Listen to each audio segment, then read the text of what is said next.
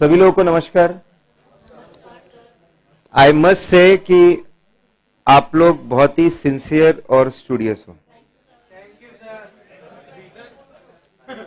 आप ऑडिट ये सब्जेक्ट 11 बजे से लेकर 8 बजे तक पढ़ते हो। फ्रैंकली स्पीकिंग मैं ऐसा सोचता था कि इतने समय में शायद हमको डेढ़ दो, डेढ़ घंटे की ब्रेक देना पड़े। लेकिन दो दिन से मैं देख रहा हूँ कि इन टोटलिटी हम 45 मिनट्स की ब्रेक देते हैं 45 50 मिनट्स की ब्रेक देते हैं। तो that that really shows that correct कि आप बहुत डेडिकेशन से पढ़ रहे हैं।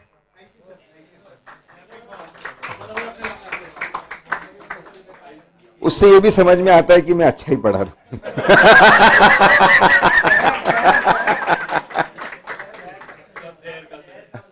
okay okay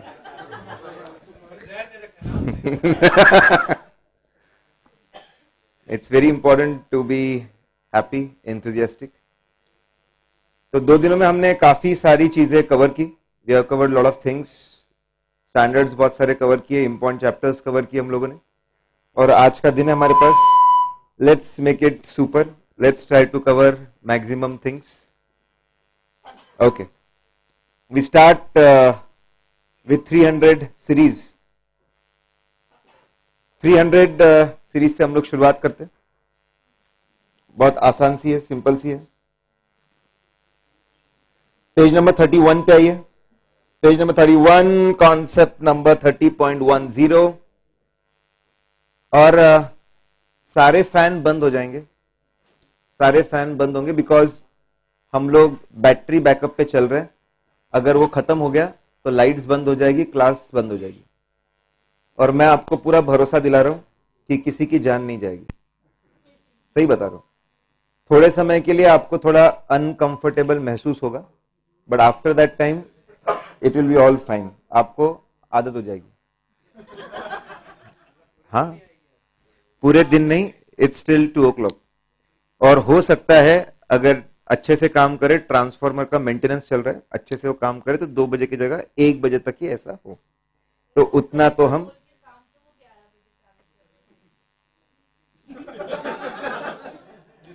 मैडम आपका बहुत ही उमदा फ्यूचर है पॉलिटिक्स में। बराबर। आज से दस साल बाद करेक्ट। छोटी बात बिल्कुल ना सोचे इलेक्शन। क्या? कुछ नहीं होगा everything every one will be all fine ठीक है? चलिए ध्यान देंगे। ध्यान दीजिए। Now come to page number thirty one concept number thirty point one zero पे आइए।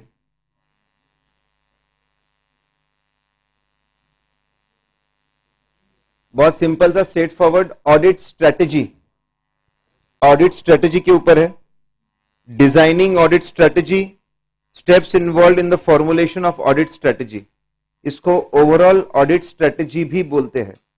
और इंस्टीट्यूट हमारा महान है, हम सब जानते हैं। उन्होंने प्लानिंग के ऊपर चैप्टर भी इंक्लूड किया है और उसमें उसको बोलते हैं ओवरऑल ऑडिट प्लान तो overall audit strategy and overall audit plan is one at the same thing ये एक ही है, ठीक है? और अभी मैंने रिसेंटली ये देखा है कि इंस्टीट्यूट इंस्टीट्यूट स्टैंडर्ड्स के ऊपर बेस्ड जो आंसर्स है, वो आंसर्स ठीक है? वो आंसर्स उसको ज़्यादा इंपॉर्टेंस दे रहा है, उसको ज़्यादा इंक्लूड कर रहा है। इस क्वेश्चन के दो ऑल्टरनेटिव आंसर बनते हैं और बच्चे ज़बरदस्ती इससे कंफ्यूज होते थे बहुत ज़्यादा। प्रैक्टिस मैनुअल में कभी अलग आंसर है सजेस्टेड में कुछ और मिल जा रहा है। तो मैंने दोनों ऑल्टरनेटिव लिखे हैं। दोनों ऑल्टरनेटिव लिखे हैं और उसमें पूरी कहानी बताई है और मैंने फ़र्स्ट ऑल्टरनेटिव को प्रेफर किया है because that is coming directly from standards on auditing ठीक है? ओके, ध्यान देंगे। ब्रॉड गाइडलाइंस की ऑडिट कैसे करना चाहिए, क्या डूज होने चाहिए, क्या डोंट्स होने चाहिए, उसको हम लोग बोलते हैं ओवरऑल ऑडिट स्ट्रैटेजी उस पर शॉर्टकट है वहाँ पे। आर सीआरपीएफ राजस्थान सीआरपीएफ की स्ट्रेटेजी अच्छी है। ऐसा आप उसमें दिमाग में रख सकते हैं। आर सीआरपीएफ उसका शॉर्टकट है। R is for resources resources की स्ट्रेटेजी आपको बनानी पड़ेगी। बड़ी टीम लेके जाएँगे, जल्दी काम खत्म करेंगे, छोटी टीम लेके जाएँगे, ज़्यादा समय हम लोग बिताएँगे, टीम में कितने लोग होंगे, वो स्ट्रेटेजी रखनी पड़ेगी, उनका कितने लोग होंगे वो स्ट्रेटेजी कितने सीनियर्स होंगे, कितने जूनियर्स होंगे, कितने आर्टिकल्स होंगे। तो ऑडिट स्ट्रेटेजी बनाते वक्त हमको सबसे पहले रिसोर्सेस की स्ट्रेटेजी बनानी पड़ेगी कि कितने लोग हमको ये असाइनमेंट पे लगेंगे। Generally number of hours man hours में कैलकुलेशन होते हैं। कितने मैन आवर्स लगेंगे ये असाइनमेंट करने के लिए। फिर उसके बाद C stand for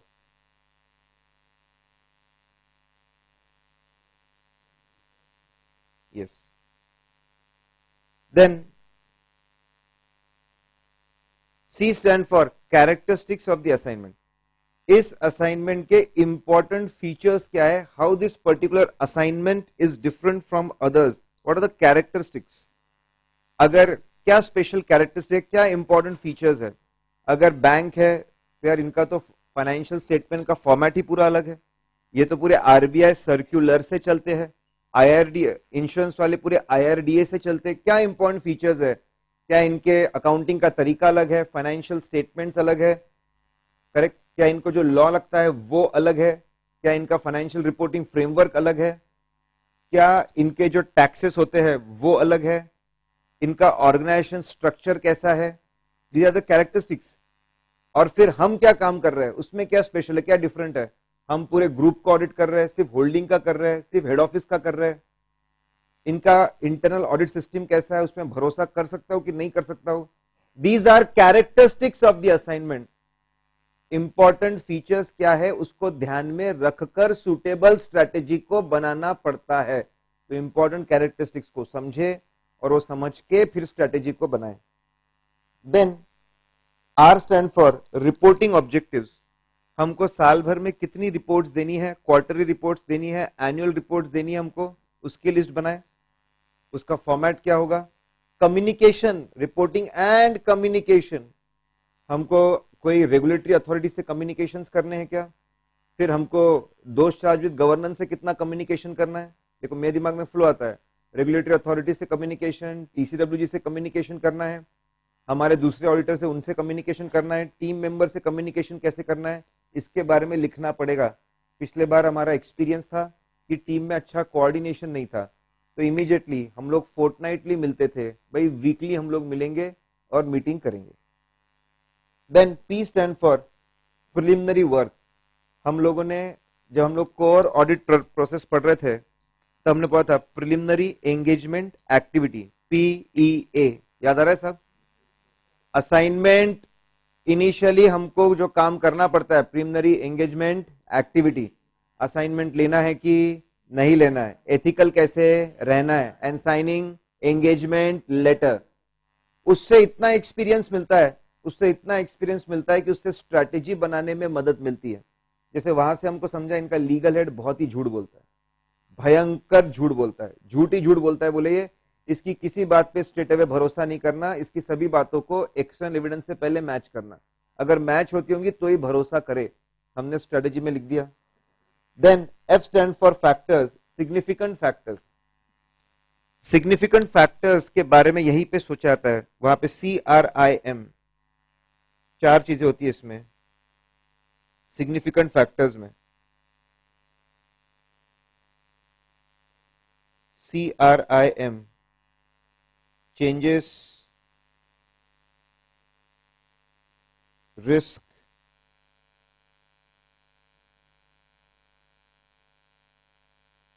significant factors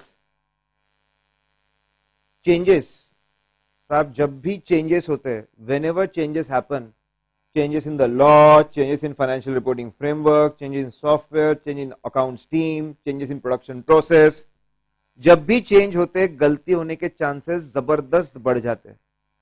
Correct we are here in a new setup recording setup I am over cautious normally our setup we press the start button and stop button यहाँ पे it's a new thing if anything goes wrong correct सारे videos खराब हो जाएँगे। I am more cautious whenever changes happen वैसे organisation में अगर कहीं पर भी चेंज हुआ है ना साहब, बहुत ज़्यादा चांसेस है कि उसकी अकाउंटिंग में प्रॉब्लम होगा। तो चेंजेस को बहुत ज़्यादा importance it's significant factor risk यही पे सोचा जाता है कि ऑडिट रिस्क कितनी होनी चाहिए। ऑडिट रिस्क हम तय करते हैं। बहुत ही सेंसिटिव क्लाइंट है लिस्टेड कंपनी है, पूरे दुनिया की उस पर नज़र है। वन परसेंट ऑडिट रिस्क रखेंगे। वी डिसाइड ऑडिट रिस्क कितनी रखनी है। हम डिस्कस भी करेंगे। वन परसेंट रिस्क रखना है, हम तय करेंगे। पाँच परसेंट रखना है, हम तय करेंगे। इंटरनल कंट्रोल सिस्टम हमारे पास्ट एक्सपीरियंस हमको क्या बताते हैं? कि ये कंपनी के सिस्टम्स कितने स्ट्रांग है। साहब, सिस्टम्स ना हमारे ऑडिट की मेहनत को बहुत ज़्यादा इंपैक्ट करते हैं। सिस्टम स्ट्रांग हुए तो मेहनत एकदम कम हो जाती है और सिस्टम वीक है तो मेहनत बहुत बढ़ जाती है। पूरा सिस्टम। प्रोफेसर ने शॉर्टकट दे दिया पर्टिकुलर क्वेश्चन का। अरे यार, ये तो फटाफट मैं याद कर लूँगा। मेहनत एकदम कम हो जाती है। और बोले, तू पढ़ ले। अरे भाई, पढ़ ले। मज़ा आ गया क्या भाई? तो मेहनत बढ़ जाती है। तो वैसे सिस्टम कितना स्ट्रांग है? ऑडिट में सिस्टम कितना स्ट्रांग है, इसके ऊपर बहुत ज़्यादा चीज़ें डिपेंडेंट है। तो सिस्टम आपको कैसा लग रहा है, ये तभी आप सोच लो। अभी तक हमने कुछ किया नहीं है। पास्ट एक्सपीरियंस से कैसा लग रहा है, उसके ऊपर बेस्ड स्ट्रेटेजी को बनाए। And M stand for materiality materiality level क्या होगा, उसके बारे में भी यही पे सोचते हैं। क्योंकि यही पे सोचते हैं, इसलिए 320 डील करता है किससे? मटेरियलिटी से। लेट्स फ्रीज गाइस किसकी स्ट्रेटेजी अच्छी है? Rajasthan CRPF R for resources की strategy C for characteristics of the assignment को ध्यान में रख के स्ट्रेटेजी को बनाओ। Then R for reporting and communication then P stand for preliminary engagement activity से आपने जो सीखा, उससे आप स्ट्रेटेजी बनाए।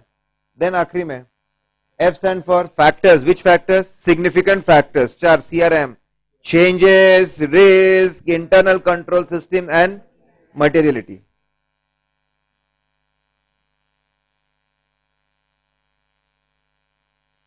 अब आइए 30.31 नवंबर 18 के आरटीपी में है ये। पेज नंबर 34 डॉक्यूमेंट करना है। तो बोले डॉक्यूमेंट क्या करना चाहिए? हमको तीन चीज़ों को डॉक्यूमेंट करना चाहिए।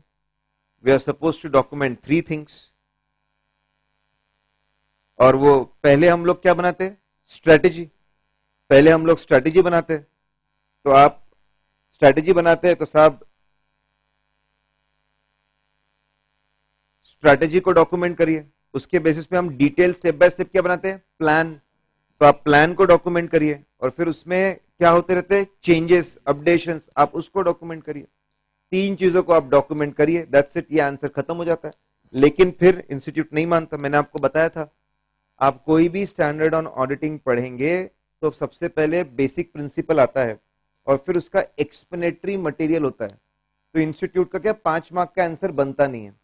तो वो उठाते पहले प्रिंसिपल वाली बात को उठाते और पाँच मार्क का आंसर नहीं बन रहा तो फिर एक्सप्लेनेटरी पार्ट लेके आते, जिसके अंदर आधी बार वही बात रिपीट होती है। आधी बार जो प्रिंसिपल लिखा होता है उसी को रिपीट किया जाता है। क्योंकि बट ऑब्वियस है, क्योंकि वो एक्सप्लेनेटरी पार्ट दस बीस पेज के बाद होता है। तो वही बात फिर से रिपीट करते और कभी कभी और भी कुछ चीज़ें ऐड कर देते। तो अब सुनो, और इंस्टीट्यूट ने जो हेडिंग डाली वो हेडिंग भी सही नहीं है। तीन पॉइंट्स है। तीनों की हेडिंग ऐसी होनी चाहिए थी। Documentation of overall audit strategy, उसके बारे में पहला पैराग्राफ है। डॉक्यूमेंटेशन ऑफ़ ऑडिट प्लान, उसके बारे में दूसरा पैराग्राफ है। And record of significant changes, उसके बारे में तीसरा। हेडिंग भी इंस्टीट्यूट की सही नहीं है। हेडिंग सही नहीं है।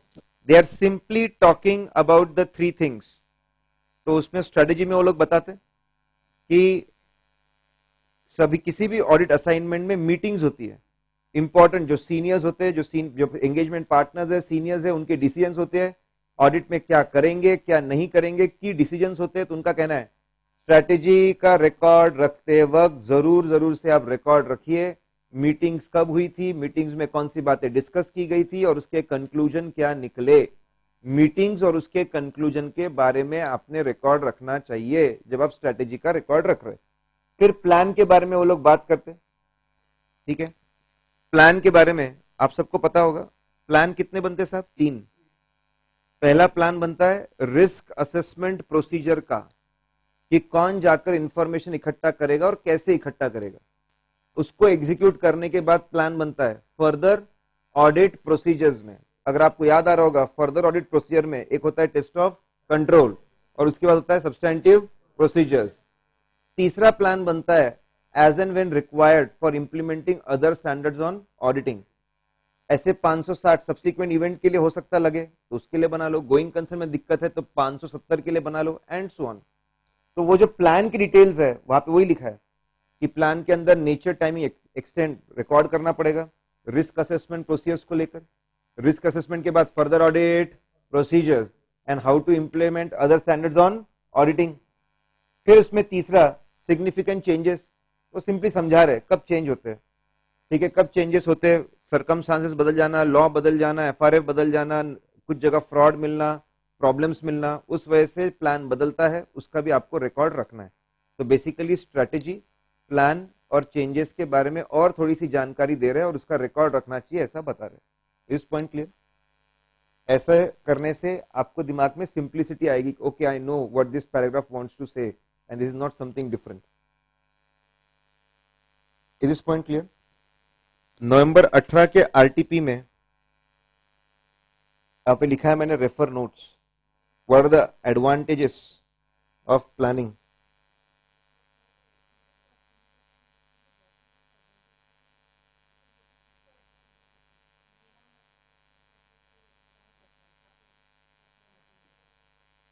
नहीं नहीं, समझा नहीं, क्या बोल रहे आप?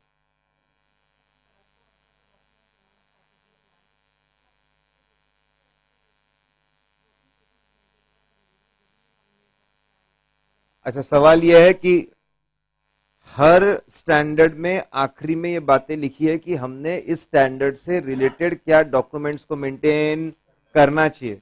तो क्या हम हर बार 230 ऐसे का रेफरेंस दे? आंसर इज़ नो बच्चे फिर ऐसे ही करते जब भी डॉक्यूमेंटेशन आता 230 लिख देते, जब भी रिस्क आता 315 लिख देते, जब भी प्रोसीजर आता 330 लिख देते।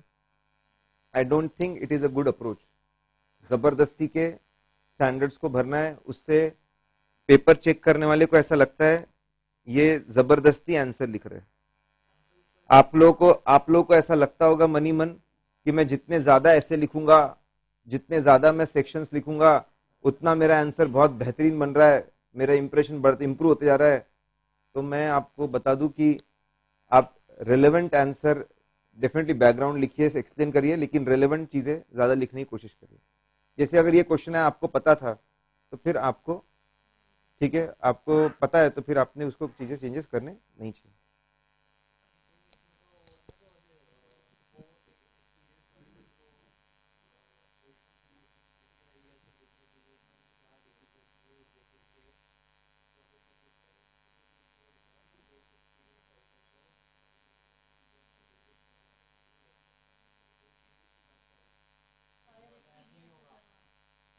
क्या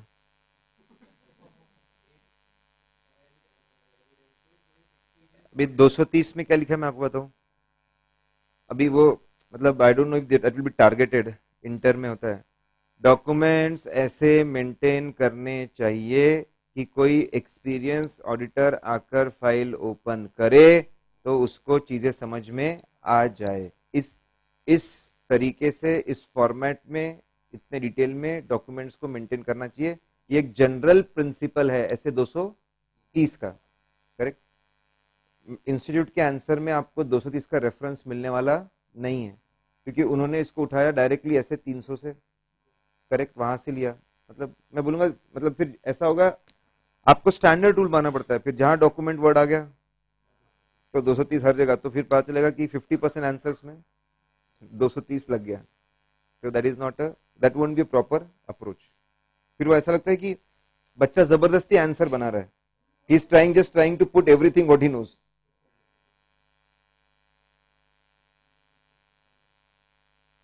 क्या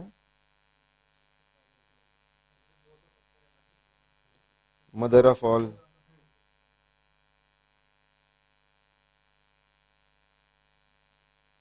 आप नोट्स में पेज नंबर 1.6 पे आइए। वहाँ पे 30.32 करके सीएनओ दिया हुआ है। देखो क्रॉस रेफरेंसिंग भी है।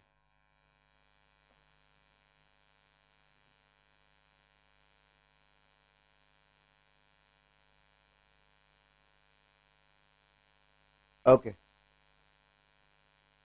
So what are the advantages of planning? Again, अब अगर आप देख चुके हो कि आई प्रेफर अ फ्लो अगर वो फ्लो मिले तो मैंने बस वो फ्लो में चीज़ों को लिखा हुआ है। बहुत सोच समझकर अगर आप प्लान बनाओगे तो आपको बहुत मदद मिलेगी। सही टीम को सिलेक्ट करके ठीक है? सही टीम को सिलेक्ट करके वर्क असाइन करने में पहला एडवांटेज बहुत अच्छे से सोच समझ के प्लान बनाओगे तो आपको पता होगा मुझे कैसी टीम चाहिए, आप अच्छा सिलेक्शन कर पाएँगे। सिलेक्शन करने के बाद में काम असाइन कर पाएँगे। फिर, अगर आप लोगों को अच्छे से बताएँगे क्या काम करना है और कैसे करना है, या अगर आप लोगों को पहले ही बता देंगे ऑर्गेनाइजेशन में प्रॉब्लम क्या है? Employees don't know what is expected from them that is one of the big problem article doesn't know what is expected from him उसको बोलते हैं ऑडिट कर ले, जा। अरे, करना क्या है वहाँ पे? कर लेना। पिछले साल की फ़ाइल देख लेना।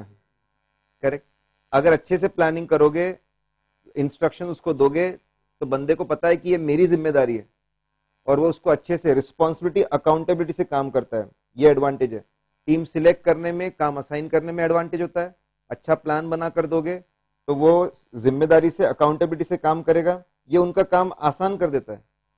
जूनियर्स को पता होता है, यार, मुझे क्या काम करना it's very good for them ऐसा करने से कोई भी इंपॉर्टेंट एरिया छूटता नहीं है।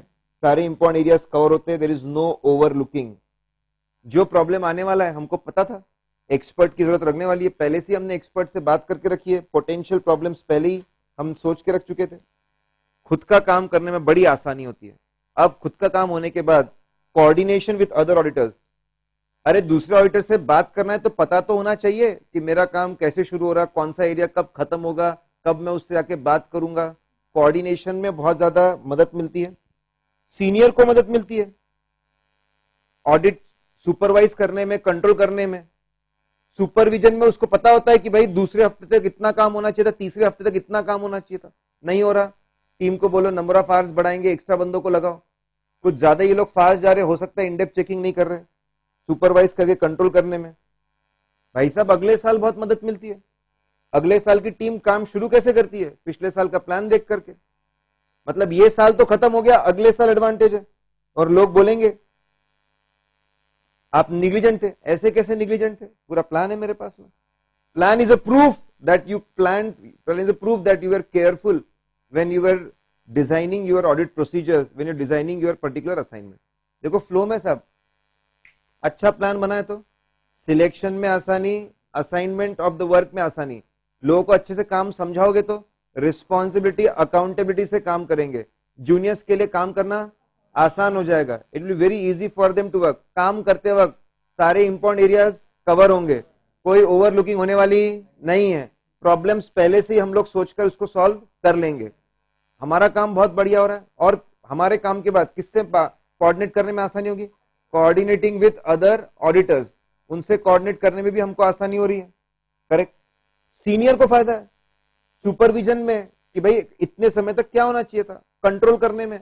धीरे जा रहे तो क्या करना? फास्ट जाए तो क्या करना? सुपरविजन कंट्रोल में। इस साल का असाइनमेंट खत्म हो गया। अगले साल भी इसका फ़ायदा है।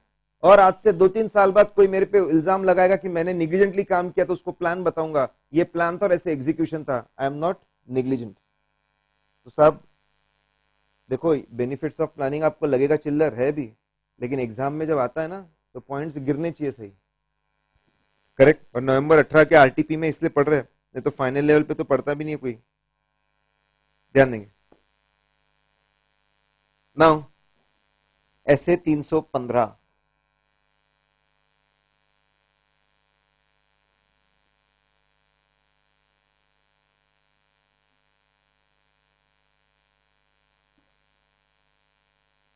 इस पोर्शन को नहीं पढ़ेंगे, उसके बिना भी काम हो जाता है।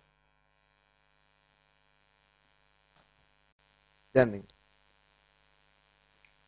और अब ये समझ जाए, बहुत सिंपल सा, रिस्क और उसके कंपोनेंट्स रिस्क और उसके कंपोनेंट्स को ऐसे 200 में डिफाइन किया गया है but is more relevant to study tier क्या लिखा है? बहुत आसान।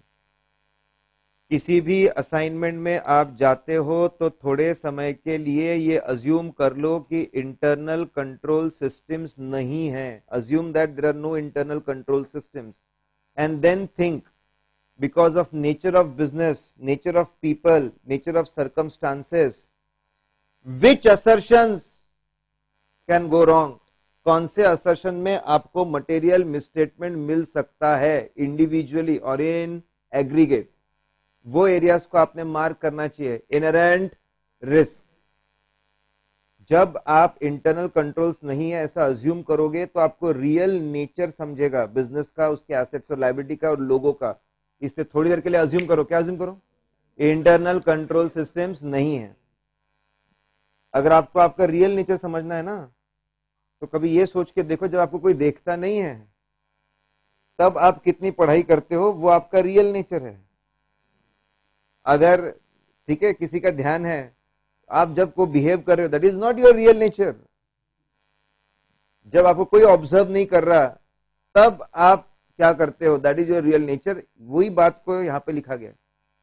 इससे हमको समझ में आएगा इनहेरेंट रिस्क बिज़नेस के नेचर लोगों के वजह से सरकम की वजह से क्या रिस्क निकल कर आ रही है। एग्ज़ाम्पल दे रहा हूँ रिटेल इंडस्ट्री रिटेल इंडस्ट्री में अगर सिस्टम्स नहीं होंगे, सबसे ज़्यादा गड़बड़ किसमें होगी? Cash and stock. नज़र हटी, दुर्घटना घटी। करेक्ट? हॉस्टल वाले तो और ही खतरनाक होते हैं। किराना शॉप जनरल स्टोर पे आते हैं, भीड़ एकदम। भैया ये, भैया वो, इधर दो तीन चीज़ें गायब। रिटेल, नज़र हटी, दुर्घटना घटी, सबसे अगर इंटरनल कंट्रोल सिस्टम्स नहीं होंगे तो सबसे ज़्यादा गड़बड़ होंगी कैश और स्टॉक में। करेक्ट? ऐसे हर बिज़नेस में अलग अलग एरियाज़ होते हैं। कोचिंग क्लासेस की मैं बात करूँ रेंट फिक्स होता है इलेक्ट्रिसिटी का गवर्नमेंट बिल भेजती है सैलरी फिक्स होती है, कहाँ पे गड़बड़ हो सकती है? It can be fees collection fees collection में गड़बड़ हो सकती है। इट कैन हैपन बुक्स का जो सेल है, वही रेवेन्यू कलेक्शन में गड़बड़ हो सकती है।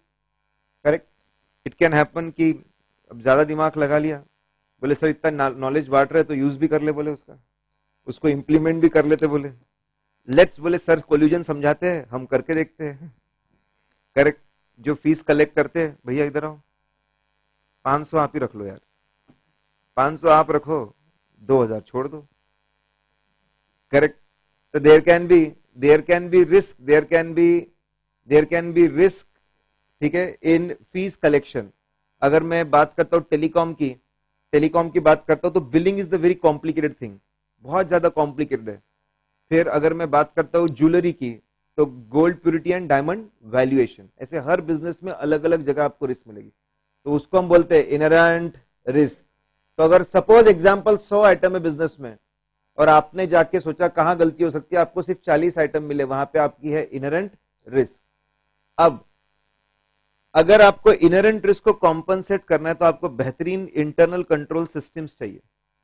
लेकिन अगर chances that internal controls are not able to internal controls are not able to prevent detect or correct material misstatement मतलब कौन सी रिस्क है कंट्रोल रिस्क है बात समझ रहे साहब ना लिसन अगर ये दोनों रिस्क को कंबाइन कर दू मैं दोनों रिस्क को कंबाइन कर दू तो मुझे पता चलेगा what are the chances that misstatements will reach financial statements what are the chances that data in financial statements is having material misstatement क्या chances है कि financial statements में material misstatements रहेंगे उसको हम बोलते हैं risk of material misstatement chances that financial statement which are presented to auditor which are presented to auditor before we start the audit that risk is called as risk of material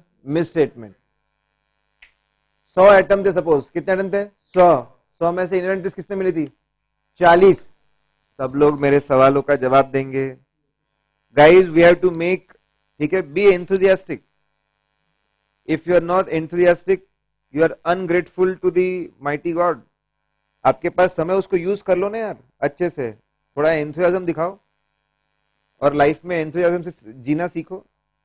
correct आधी जनता परेशान है past guilt को लेकर mistakes को लेकर regrets को लेकर, आधी परेशान है फ्यूचर को लेकर, आधी परेशान है, ठीक है फ़ैन नहीं चल रहा उसको लेकर, बस तुम परेशान रहो लाइफ में, समय तो जा रहा है बी एंथुजियास्टिक बराबर? छोटे छोटे सवाल पूछे, उसका जवाब तो थोड़ा जोश दिखाओ।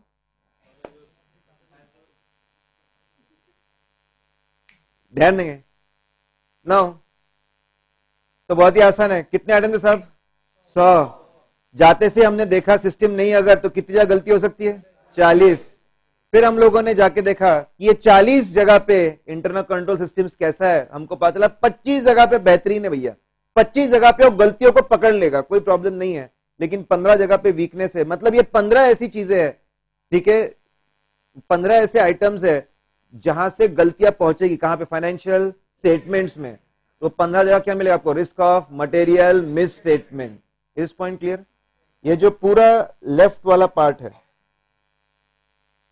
ये जो पूरा का पूरा लेफ़्ट वाला पार्ट है,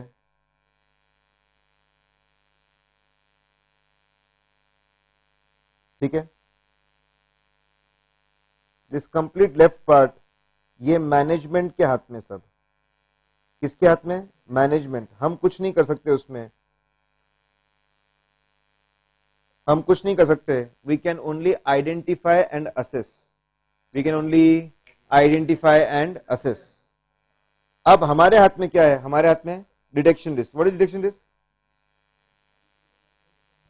chances that chances that audit procedures will not be able to identify material misstatement that will be called as detection risk yes no वो डिपेंड करता है दोस्त पे sampling and non sampling risk sir ये क्या होता है?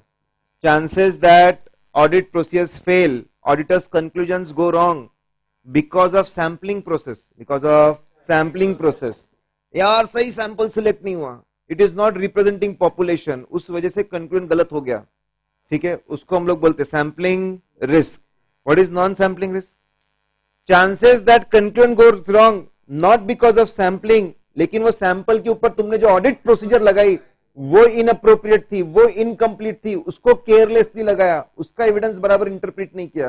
That is non sampling risk sample गलत सिलेक्ट किया, उस वजह से गलती हो गई। दैट इज़ सैम्पलिंग रिस्क उस पर ऑडिट प्रोसीजर बराबर नहीं लगाई, उसकी वजह से कंक्लूजन गलत हो गया। That is non sampling risk ये जो पूरा पार्ट है, ये जो पूरा पार्ट है, ये किसके हाथ में सब ऑडिटर के।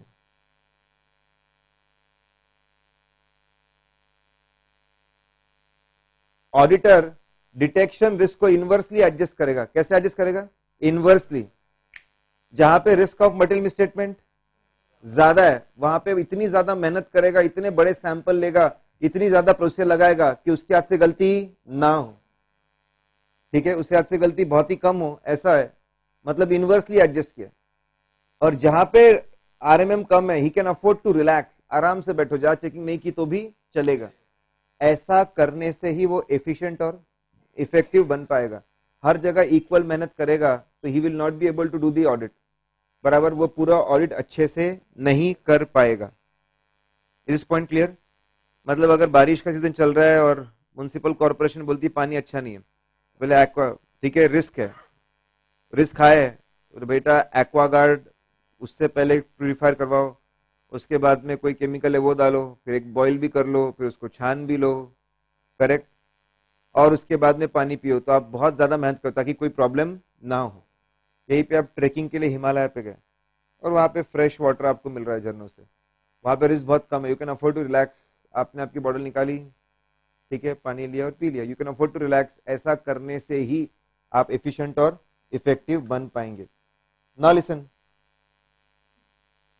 now what is audit risk chances that final opinion which is given by the auditor, that opinion goes wrong? That is called as, that is audit risk. उसको हम लोग ऑडिट रिस्क बोलेंगे। इसमें लेकिन एक ही चीज़ कवर्ड है। Chances that auditor gives clean opinion when modified opinion was required chances कि वो सब क्लीन देके आ गया, जबकि फाइनेंशियल स्टेटमेंट में गलतियाँ थी, वो पकड़ नहीं पाया। फाइनल ओपिनियन उसका। फाइनल ओपिनियन गलत हो जाएगा। वो क्लीन ओपिनियन देके आ गया। जबकि उसने क्या करना चाहिए था? मॉडिफाइड ओपिनियन देना चाहिए था। That is what audit risk बात समझ रही क्या सब? क्विकली दोनों कंबाइन करेंगे तो क्या मिला आपको सब? ऑडिट रिस्क नाउ यहाँ पे एक बात लिखी है नॉट इंक्लूड करके। बाकी तो सारी बातें हमने देखी। नॉट इंक्लूडेड क्या बात लिखी है, देख लीजिए। ऑडिट रिस्क में दो रिस्क नहीं आती। ऑडिट रिस्क में दो रिस्क नहीं आती। Chances that auditor gives a modified opinion he gives a अरे he gives modified opinion modified मतलब कितनी जाती है? तीन। या तो क्वालिफाई या तो एडवर्स या तो disclaimer chances that he gives a modified opinion when unmodified was required बोले, ऐसा प्रैक्टिकल लाइफ में इसके चांसेस निग्लिजिबल है। आपने छीक मारी।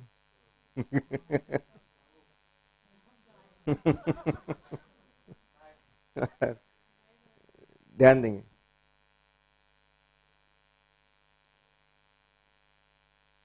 okay now chances that we give chances that we give modified opinion when clean was required अरे इसके chances मतलब ऑडिटर बोल रहे, गलतियाँ है, जबकि गलतियाँ नहीं थी। ये बोले, निग्लिजेंट चांसेस है इसलिए स्टैंडर्ड उसको कवर नहीं करता, डेफिनेशन में। It doesn't cover it in the definition. बोले, इसके चांसेस ही नहीं है। और दूसरा, ऑडिट फर्म की बिज़नेस रिस्क क्या है? ऑडिट फर्म की बिज़नेस रिस्क क्या है? वो भी कवर नहीं होती। सर मतलब क्या? गलत ओपन देने से ऑडिट फर्म का नाम खराब होगा। ऑडिट फर्म का नाम खराब होगा, उसके क्लाइंट्स कम हो गए, उसको फ़ीस कम मिलेगी, उसका फ्यूचर कम हो जाएगा। ये रिस्क भी कवर करता नहीं है। Audit risk is very simple क्या चांसेस है कि हम क्लीन ओपन दे के आ जाएँगे, जबकि हमके क्या करना चाहिए था? मॉडिफाई करना था।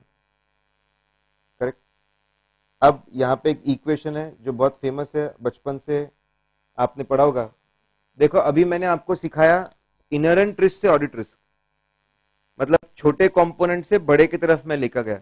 अब इसी को अपोजिट पढ़ने का भी तरीका है। देखो, जिस मैंने आपको बताया, मेरी वर्डिंग्स कैसे, वो आपने यूज़ करनी चाहिए।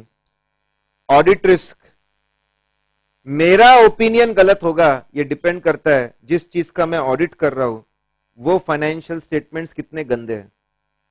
वो फाइनेंशियल स्टेटमेंट कितने गंदे हैं। That is risk of material misstatement और मैंने उस पर कितनी मेहनत की है। दैट इज़ डिटेक्शन रिस्क मेरे हाथ से ओपिनियन गलत हो जाएगा। दैट डिपेंड कर दैट डिपेंड करता है कि फाइनेंशियल स्टेटमेंट कितने गंदे हैं। और मैंने उस पर कितनी मेहनत की है। फिर फाइनेंशियल स्टेटमेंट में कितनी गलती होगी दैट डिपेंड कि बिज़नेस में इनरेंट रिस्क कितनी है और कंट्रोल्स कैसे है कंट्रोल रिस्क तो अल्टीमेट इक्वेशन बनता है ओपिनियन गलत कितना हो depend on inherent risk control risk and detection risk yes no audit risk को तय किया जाता है। Audit risk is decided at strategy level strategy level पे सपोज़ हम, मैं बोलता हूँ कि हमने तय कर लिया।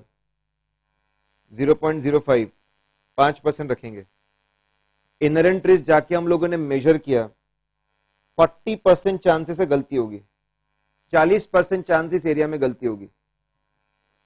और फिर कंट्रोल रिस्क कंट्रोल्स बोले 50 परसेंट। फिफ्टी परसेंट चांस है कंट्रोल फेल होगा। अच्छा। चालीस परसेंट गलती होने के चांस है फिफ्टी परसेंट चांस है कि गलती छूट जाएगी। मतलब कितनी गलती है, पहुँच जाएगी फाइनेंशियल स्टेटमेंट तक? Twenty percent. समझ रहे क्या सब फोर्टी परसेंट चांस है क्या होगी? गलती होगी। उसमें से आधी गलतियाँ छूट जाएगी। मतलब कहाँ तक पहुंचेगी वो? फाइनेंशियल स्टेटमेंट्स तक। डिटेक्शन रिस्क हमेशा बैलेंसिंग फिगर मिलता है। Detection risk will get as a balancing figure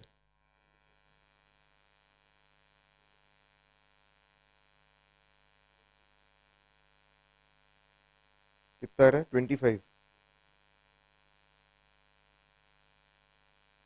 listen अब मैं एक स्टेटमेंट बोल रहा हूँ, देखो समझ में आता है। Detection risk should be inversely adjusted in such a manner क्या बोला?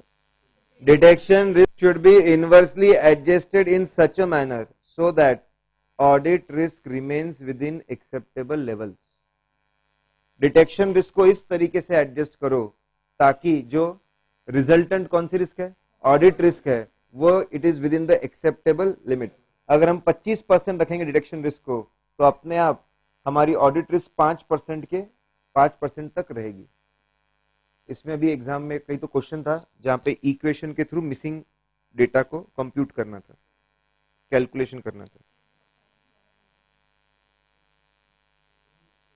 डिटेक्शन रिस्क को इस तरीके से डिटेक्शन रिस्क को इस तरीके से एडजस्ट करे ताकि so that audit risk remains within acceptable limits.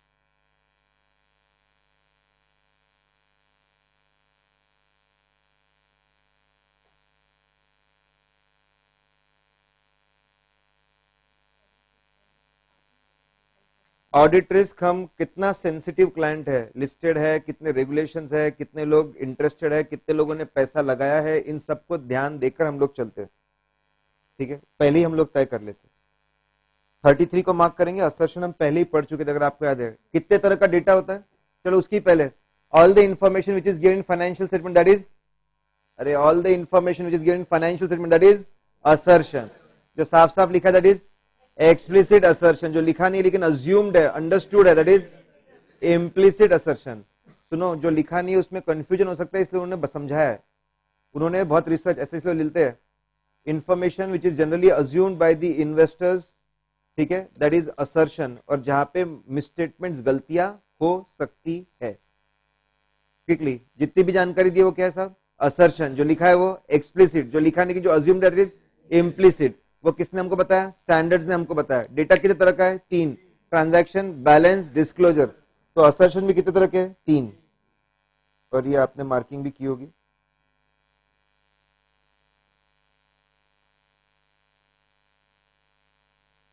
ये मे 19 के मॉक फिर आई है 36.50 मे 19 के मॉक टेस्ट पेपर में और मे 19 के आरटीपी में। दो जगह मतलब ये उन्होंने वो सेम चीज़ पूछी दैट वाज सिंपल कैलकुलेशन वो सिंपल ये जो अभी हमने इक्वेशन था इक्वेशन लगाना था, और उसके हिसाब से डिटेक्शन रिस्क को निकालना था। और उन्होंने वो कैलकुलेट करके बताया कि डिटेक्शन रिस्क को 40 टका रखो, और ऐसा रखने से आपकी ऑडिट रिस्क है it will be within the acceptable limit क्योंकि सारी डेफिनेशन 200 में है। लेकिन उसको 200 के साथ पढ़ना कोई सेंस नहीं बनता, कुछ समझता नहीं वहाँ पे वो। करेक्ट क्योंकि उसको हम जोड़ नहीं पाए तो उसको हमने इस किया पे आप लिखिए कि डेफिनेशन इन गिवन इज़ ऐसे 200 when but how to identify the risk, this is explained in essay 315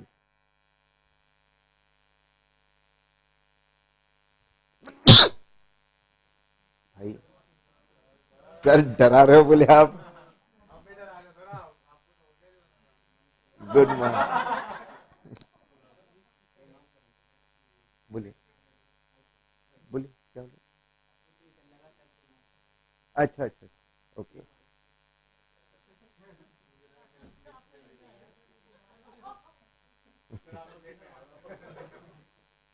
देखो, जितनी गर्मी शायद आपको लग रही है, उससे ज़्यादा मुझे, क्योंकि यहाँ लाइट्स है। तो बोले, वही तो प्रॉब्लम है, तुम घर में तो ठीक क्यों ना बोले? ध्यान नहीं। ना listen concept number thirty nine पे ही है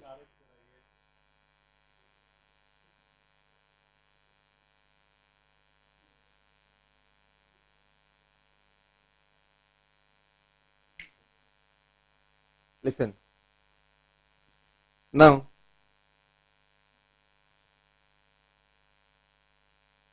रिस्क अब रिस्क क्या है हम जान चुके रिलेशन जान चुके.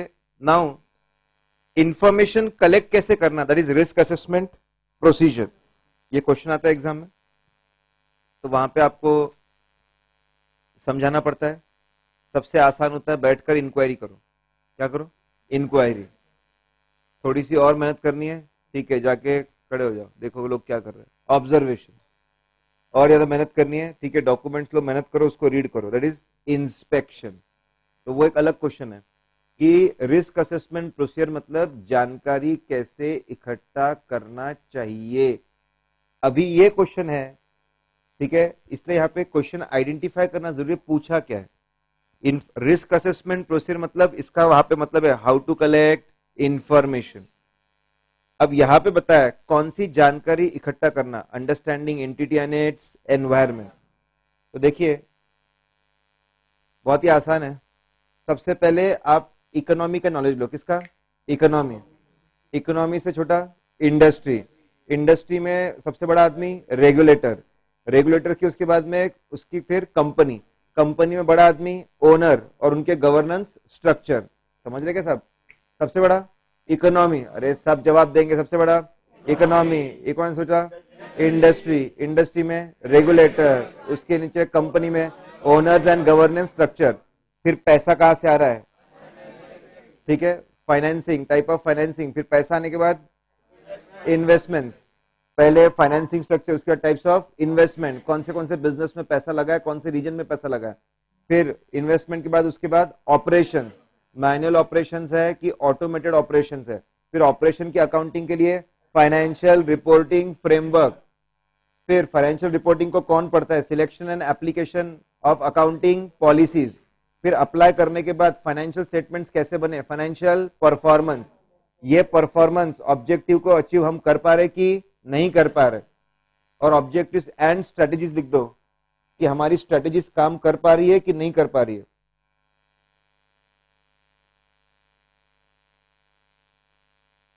ये सारी एंड स्ट्रेटेजीज ये इंफॉर्मेशन कलेक्ट करनी चाहिए। इनसे हमको समझ में आएगा कहाँ पे गलती हो सकती है। All this is very important information हर जानकारी से हमको पता चल सकता है कि फाइनेंशियल स्टेटमेंट में कहाँ पे गड़बड़ हो सकती है। Understanding entity and its environment including internal control system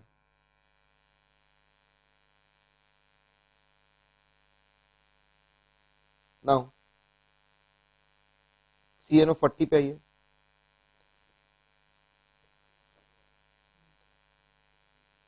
पहले क्या पढ़ा साहब? रिस्क। क्या पढ़ा साहब? रिस्क और उसके कंपोनेंट उसके कैलकुलेशन रिस्क अगर आपको पता करनी तो पहले क्या इकट्ठा करनी पड़ेगी? जानकारी। तो क्या जानकारी इकट्ठा करना? Understanding eighteen entity and its environment now including internal control system ध्यान देंगे। ये कंपोनेंट्स है and I find them extremely important ये आप पहले भी, ठीक है? ध्यान देंगे। कोई शॉर्टकट की ज़रूरत नहीं एक्सट्रीमली इंपॉर्टेंट आज बड़े बड़े कॉर्पोरेट्स हर कोई इंटरनल कंट्रोल सिस्टम के भरोसे चल रहा है। सिस्टम्स आर वेरी इंपॉर्टेंट अगर सिस्टम अच्छी है तो ऑडिटर का काम आधे से भी आधा हो जाएगा। इट विल ड्रास्टिकली रिड्यूस बहुत ज़्यादा कम हो सकता है। ठीक है? नाउ इसलिए हमारे लिए बहुत ज़्यादा ज़रूरी है इंटरनल कंट्रोल सिस्टम्स को समझना। तो हमको उसके कंपोनेंट्स 315 में उसके कंपोनेंट समझा है बहुत ही आसान।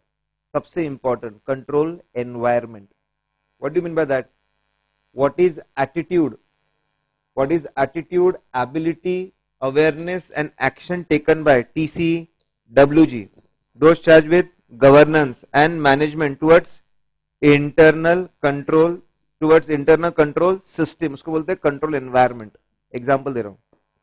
ठीक है? कौन आएगा एग्ज़ाम्पल भाई?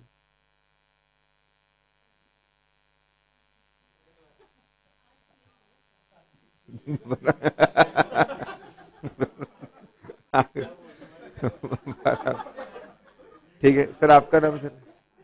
आनंद। तो आनंद सर हमारे होनहार, बुद्धिमान, शक्तिमान।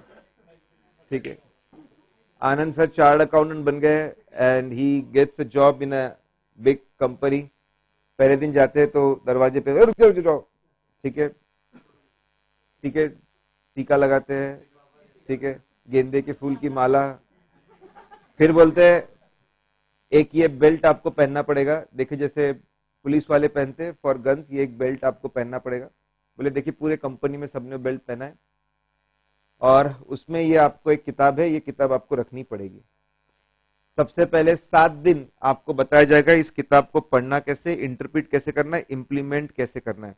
अगर आप इसके हिसाब से चले तो आपको दो महीने में प्रमोशन भी मिल सकता है, नहीं तो आप दो हफ़्ते में बाहर भी हो सकते हैं। Both the things are possible that is the importance we give to it CFO CEO सबके पास आपको एक किताब मिलेगी। That is internal control manual अगर ऑर्गेनाइजेशन इतना भयंकर इंपॉर्टेंस दे रही है इंटरनल कंट्रोल सिस्टम को, बहुत ज़्यादा इंपॉर्टेंस दे रहे हैं, जो लोग फॉलो कर रहे हैं, उनको रिवॉर्ड करेंगे, जो नहीं करेंगे, उनको निकाल देंगे एक्शन ले रहे हैं उसके बेसिस पे। उसको बोलते वेरी स्ट्रॉन्ग कंट्रोल एनवायरमेंट ऐसे इसमें एक एक बात जो लिखी जाती है, उसको इंप्लीमेंट किया जाता है। That is implemented correct opposite है। सर ने ज्वाइन किया। ज्वाइन करने के बाद गेट पे तो कोई मिला भी नहीं बोले। एक घंटा लगा खुद ये ढूँढने के लिए बैठना गया फिर जाके बैठे तो दो महीने बाद एक किताब कोई फेंक के गया डेस्क के ऊपर। उसके ऊपर पहला पेज नहीं था। ठीक है? किताब पीली पड़ चुकी थी। पूछा किसी को, किसी मालूम? बोले, किसी को नहीं मालूम कुछ भी। नो वन नोज़ एनीथिंग के लिए है क्या ये? ठीक है? फिर बोले, तुम लोग क्या करते? बोले, टिफ़िन खाने के लिए हम लोग यूज़ करते और बोले, जो इसको फॉलो करता है, उसको बेवकूफ़ बोलते जो इसके अगेंस्ट जाते उसको बोलते शेर आदमी है बराबर तो that is weak control environment कुछ भी लिख दो ऐसे इसमें। It is of no use तो control environment is a very important thing control environment अगर अच्छा है तो बाकी कंपोनेंट्स चल पाएँगे। कंट्रोल एनवायरमेंट अगर बेकार है तो बाकी कंपोनेंट्स नहीं चल पाएँगे। वैसे ही बच्चों के लिए सबसे इंपॉर्टेंट होता है यहाँ पे स्टडी एनवायरमेंट यहाँ पे स्टडी एनवायरमेंट बहुत ज़्यादा ज़रूरी है। देन कम्स एवरीथिंग एल्स बराबर? फिर हमारे मज़े मत लो बोले। पहले कंट्रोल एनवायरमेंट ना लिसन लेकिन माना एंटिटी बहुत सीरियस है इंटरनल कंट्रोल सिस्टम्स को लेकर। एटीट्यूड अच्छा है, लोग एबिलिटी है अवेयरनेस है एक्शन लेने को तैयार है, बहुत बढ़िया। लेकिन उससे सिर्फ़ अकेले उससे बात नहीं बनेगी। अब आपको पता है आज के डेट में कौन सेफ़ है? वो सेफ़ है जिसको पता है उसके साथ क्या गलत हो सकता है। इसीलिए नेक्स्ट इज़ एंटिटी का खुद का रिस्क असेसमेंट प्रोसेस हमारा रिस्क असेसमेंट प्रोसेस नहीं, किसका? एंटिटी का रिस्क असेसमेंट प्रोसेस एंटिटी का रिस्क असेसमेंट प्रोसेस कैसा? है क्या हर डिपार्टमेंट के लोग लिस्ट बनाते हैं क्या क्या गलती हो सकती है, कितनी बड़ी गलती हो सकती है? Do they know what things can go wrong क्या चीज़ें गलत हो सकती है? एल एन बड़ी बड़ी कंपनीज़ में आपको दिखेगा। क्वार्टरली बेसिस पे सारे डिपार्टमेंट हेड्स क्या क्या गलती हो सकती है, कितनी बड़ी गलती हो सकती है, बताते फिर एक बार गलतियाँ पता चल गई तो उसको कॉम्पनसेट करने के लिए आपने क्या प्रोसीजर बनाई? जैसे परचेस में गड़बड़ हो सकती है। आपने क्या किया? सेग्रीगेशन ऑफ़ ड्यूटी आपने परचेस को चार लोगों में बांट दिया। Segregation of duty that is a control activity आपने अप्रूवल्स लगा दिए that is a control activity आपने डिटेल रिकॉर्ड कीपिंग लगा दी that is a control activity आपने डेली परचेस रिपोर्ट लगा दिया that is a control activity आपने फोर्टनाइटली सुपरविजन लगा दिया that is a control activity तो आप कैसे कॉम्पनसेट कर रहे हो? That is a control activity लेकिन पहले पता होना चाहिए ना what things can go wrong और इतना डायनामिक वर्ल्ड है external environment is changing, internal things are changing, production products are changing, methods are changing, the way we communicate is changing. तो आपको कंटिन्यूसली मॉनिटर करना पड़ता है कि सिस्टम में कोई चेंजेस चाहिए क्या? एडिशंस चाहिए क्या? डिलीशंस चाहिए क्या? अपग्रेडेशन चाहिए क्या? उसको बोलते हैं मॉनिटरिंग कंट्रोल्स ठीक है? एक्सपर्ट को बुलाना इंस्पेक्शन करवाना मॉनिटरिंग कंट्रोल इंटरनल ऑडिट करवाना मॉनिटरिंग कंट्रोल ठीक है? और इन सबको सपोर्ट करने के लिए you need good information system and information technology तभी आप ये सारी चीज़ें अच्छे से कर पाओगे. These are the five component quickly सबसे बेस में क्या था? कंट्रोल एनवायरमेंट उससे अकेले से बात नहीं बनी होगी. पता होना क्या गलत हो सकता है? दिस एनडी का रिस्क असेसमेंट प्रोसेस रिस्क पता करने का कॉम्पनसेट करने के लिए. कंट्रोल एक्टिविटीज़ फिर उसमें चेंजेस के लिए. मॉनिटरिंग मॉनिटरिंग कंट्रोल इन सबको सपोर्ट करने के लिए. इंफॉर्मेशन सिस्टम और इंफॉर्मेशन टेक्नोलॉजी लिसन ये अब नवंबर 18 के आरटीपी में डाला इन्होंने। Control environment communication of integrity and ethical value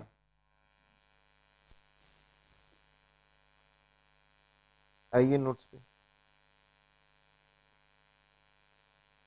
नहीं। नहीं है वहाँ पे नोट्स में। कोई बात नहीं। यही पे ध्यान दीजिए।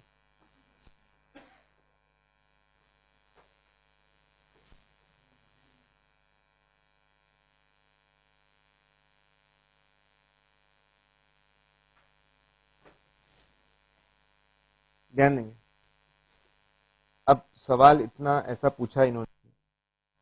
इन्होंने पूछा है the effectiveness of controls cannot rise above the integrity and ethical values of the people who create and administer and monitor them. Explain. बोल, उनका कहना है सिस्टम्स कितने अच्छे होंगे, कितने अच्छे से इम्प्लीमेंट होंगे, कितने अच्छे से रिज़ल्ट आएँगे, वो डिपेंड करता है सिस्टम को बनाने वाले लोग जो है, वो खुद कितने। ठीक है, उनकी खुद की इंटीग्रिटी कितनी है, उनके खुद के एथिकल वैल्यूज़ कितने, उस पर डिपेंड करेगा। एक्सप्लेन अब आपको बता दू इंस्टीट्यूट महान है। इंस्टीट्यूट क्या करती है? हाउ दे पूरा समझ में आता है how they draft the paper they first select the paragraph yes they first select ये आंसर रहेगा। क्योंकि खुद ड्राफ्ट करने जाएँगे तो डर होता है, कुछ चीज़ें गलत हो जाएगी, लोग जस्टिफिकेशन मांगेंगे और ड्राफ्ट करने में मेहनत बहुत लगती है। फिर क्या करते हैं? बिल्कुल ऐसे ही होता है। पहले सिलेक्ट करते हाँ ये अच्छा लग रहा है।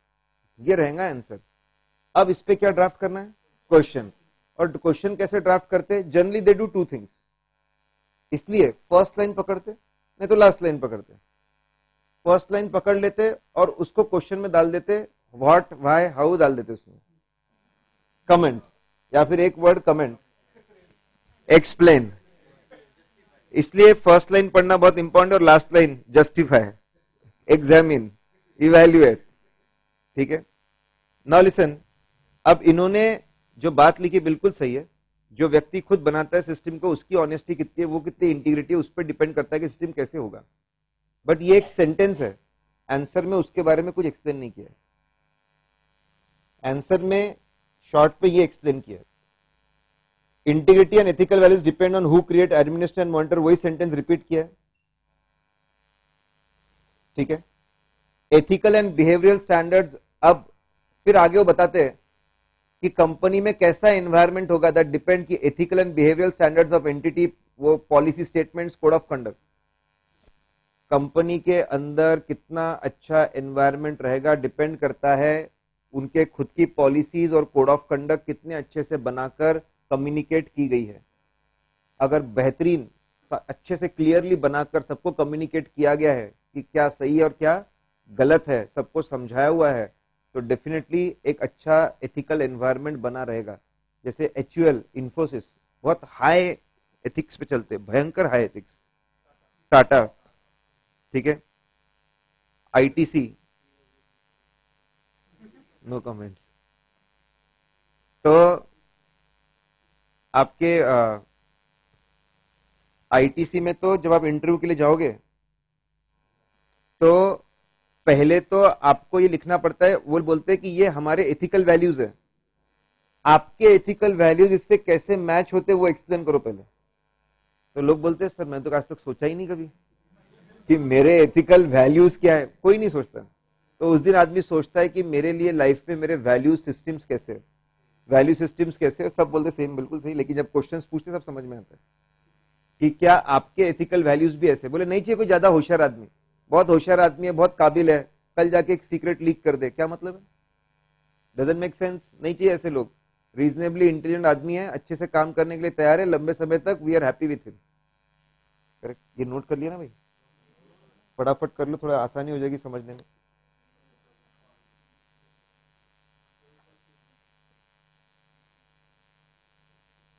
नहीं तो कोई नोट ही कर लो, मुझे कल आपको एक देना था वो चार्ट क्या देना था टाइप्स ऑफ़ ड्यू डिलीजेंस ये भी दे दूँगा ना यार पीडीएफ बनाऊँगा तो बस मेरे को लिस्ट दे देना कट कट कट पीडीएफ बनाकर।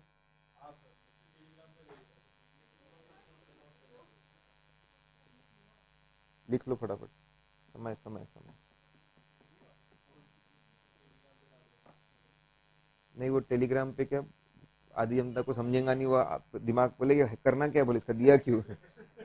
ठीक है? बैच स्पेसिफिक जो उनको ही समझ में आए, ठीक है। या तो बोले, सर, फिर आप समझा भी दो उसको।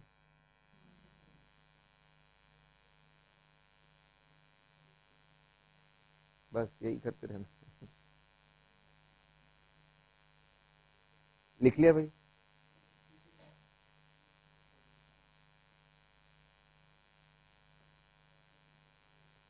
देखो, आज फ़ैन बंद है ना तो हर आवाज़ आ रही है। सर को कितनी मेहनत लगी स्किल्स वो पैकेट ओपन करने में, ताकि आवाज़ ना हो। बराबर। और अब धीरे धीरे चने चबाने में। सर, उसके बाद खाए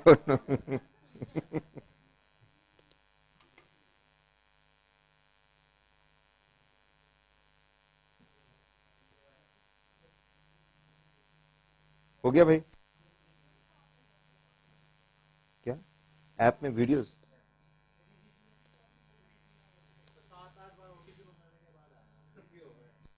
सात आठ बार।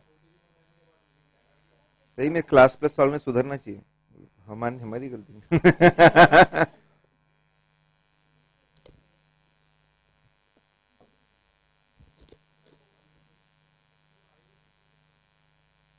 क्लास प्लस करके ऐप है। वहाँ पे ऑर्गेनाइजेशन कोड ऑडिट अगर आप डालोगे तो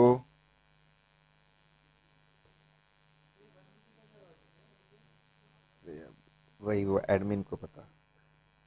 वो मतलब वो app we have taken it it's a third party app हमने उसका सब्सक्रिप्शन लिया है। We have not develop it from the scratch ठीक है? तो दे हैव स्टैंडर्ड की कोई भी कोर्स देना है तो some price should be there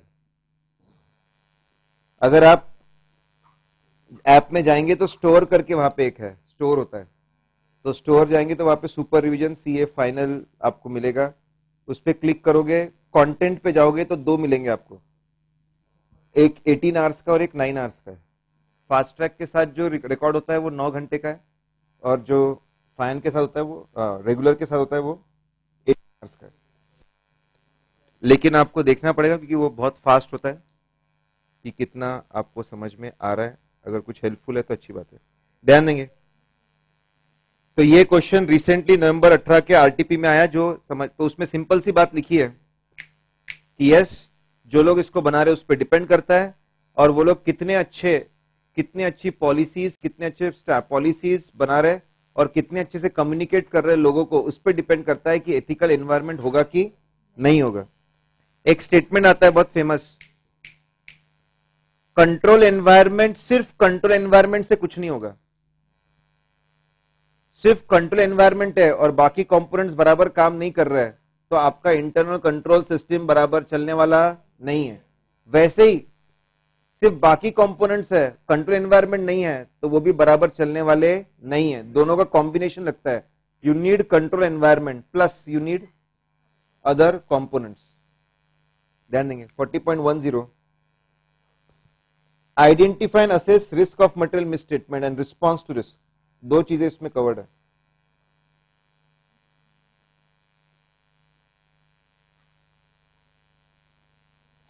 अब सुनिए।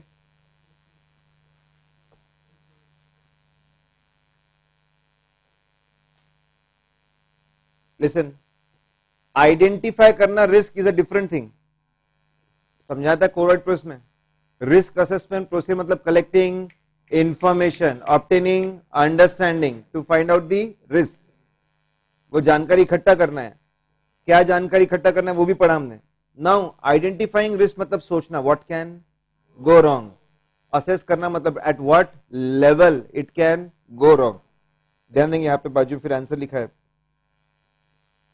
रिस्क को असेस करते दो लेवल्स पे भी हमने पढ़ा था। अगर सरकम ऐसे कहीं पर भी गलती हो सकती तो कौन सी रिस्क है? फाइनेंशियल स्टेटमेंट लेवल रिस्क आपको पता है एग्जैक्टली किस आइटम के किस पॉइंट में गलती हो सकती है? That is assertion level risk ठीक है? सॉफ्टवेयर चेंज हो गया, कहीं पर भी गलती हो सकती है that is financial statement level risk देखो, चार स्टेप्स है, ये उसका आंसर है। देर फोर स्टेप्स और ये उसका आंसर है। फोर स्टेप्स आपको बताना पड़ेगा, पहला।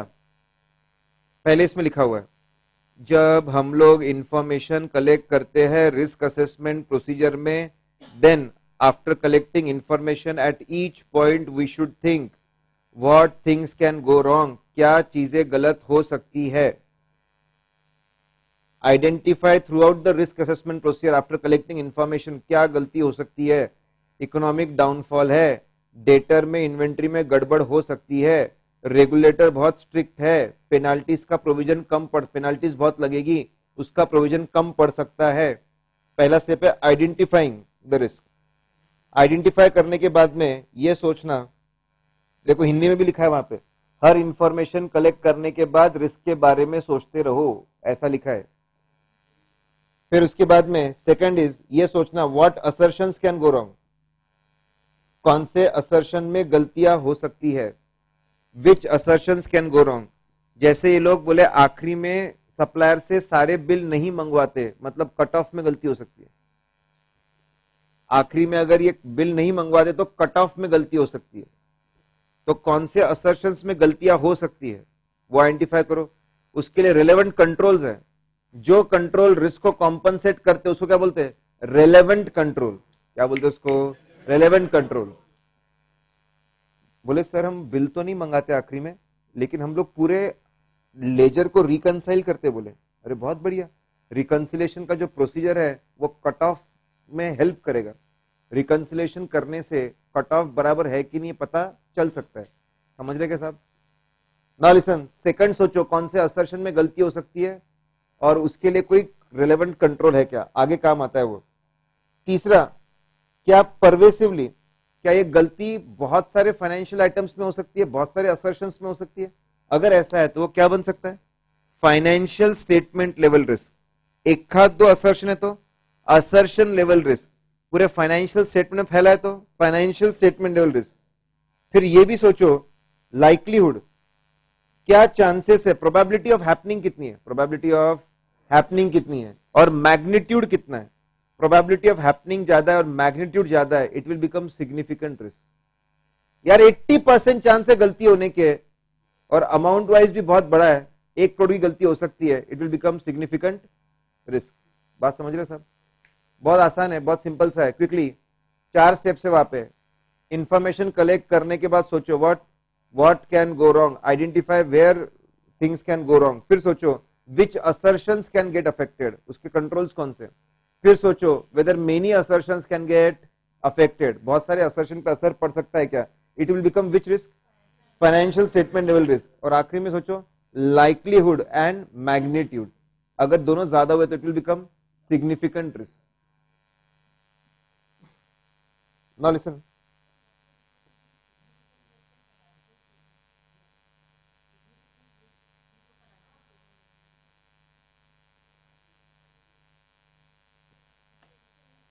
Risk is classified in two levels, financial statement level and assertion level. ऐसी सिचुएशन है जब मुझे पत, ऐसा लग रहा है कहीं पर भी गलती हो सकती है that is financial statement level और मुझे होता है पर्टिकुलर जगह पे हुई दैट इज़ असर्शन लेवल अब दोनों में से कोई भी सिग्निफिकेंट रिस्क बन सकता है। दोनों में से कोई भी जहाँ पे प्रोबेबिलिटी ज़्यादा है और अमाउंट ज़्यादा है it will become significant risk financial statement level कोई रिस्क है, वो भी सिग्निफिकेंट रिस्क बन सकता है। असर्शन लेवल रिस्क है, वो भी सिग्निफिकेंट रिस्क बन सकता है। नो लिसन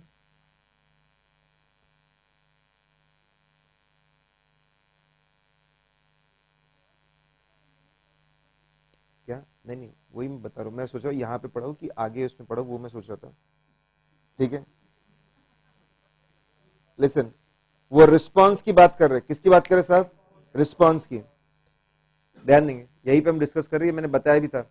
अगर फाइनेंशियल स्टेटमेंट लेवल रिस्क है, कौन सी रिस्क है? Financial statement level now we don't know ना एग्जैक्टली कहाँ पे गलती हो सकती है। तो आपके पास एक ही ऑप्शन बचता है, अपनी टीम को। स्ट्रांग बनाओ। ज़्यादा लोगों को इंक्लूड करो एक्सपर्ट को इंक्लूड करो सीनियर्स को इंक्लूड करो, उसका अलर्टनेस लेवल बढ़ा दो सरप्राइज़ चेकिंग बढ़ा दो, यही आप कर सकते हो। मैं पैरल एग्ज़ाम्पल देता हूँ। ट्वेंटी ऑफ़ जैन छब्बीस जनवरी and fifteen of August India के लिए सबसे इंपॉर्टेंट डेज़ है। और जो हमारे दुश्मन है, वो चाहेंगे कि इसी दिन इंडिया को हिट करना और उनको नीचा दिखाना कि तुम तुम्हारे मोस्ट इंपॉर्टेंट डेज़ को भी प्रोटेक्ट नहीं कर सकते हो।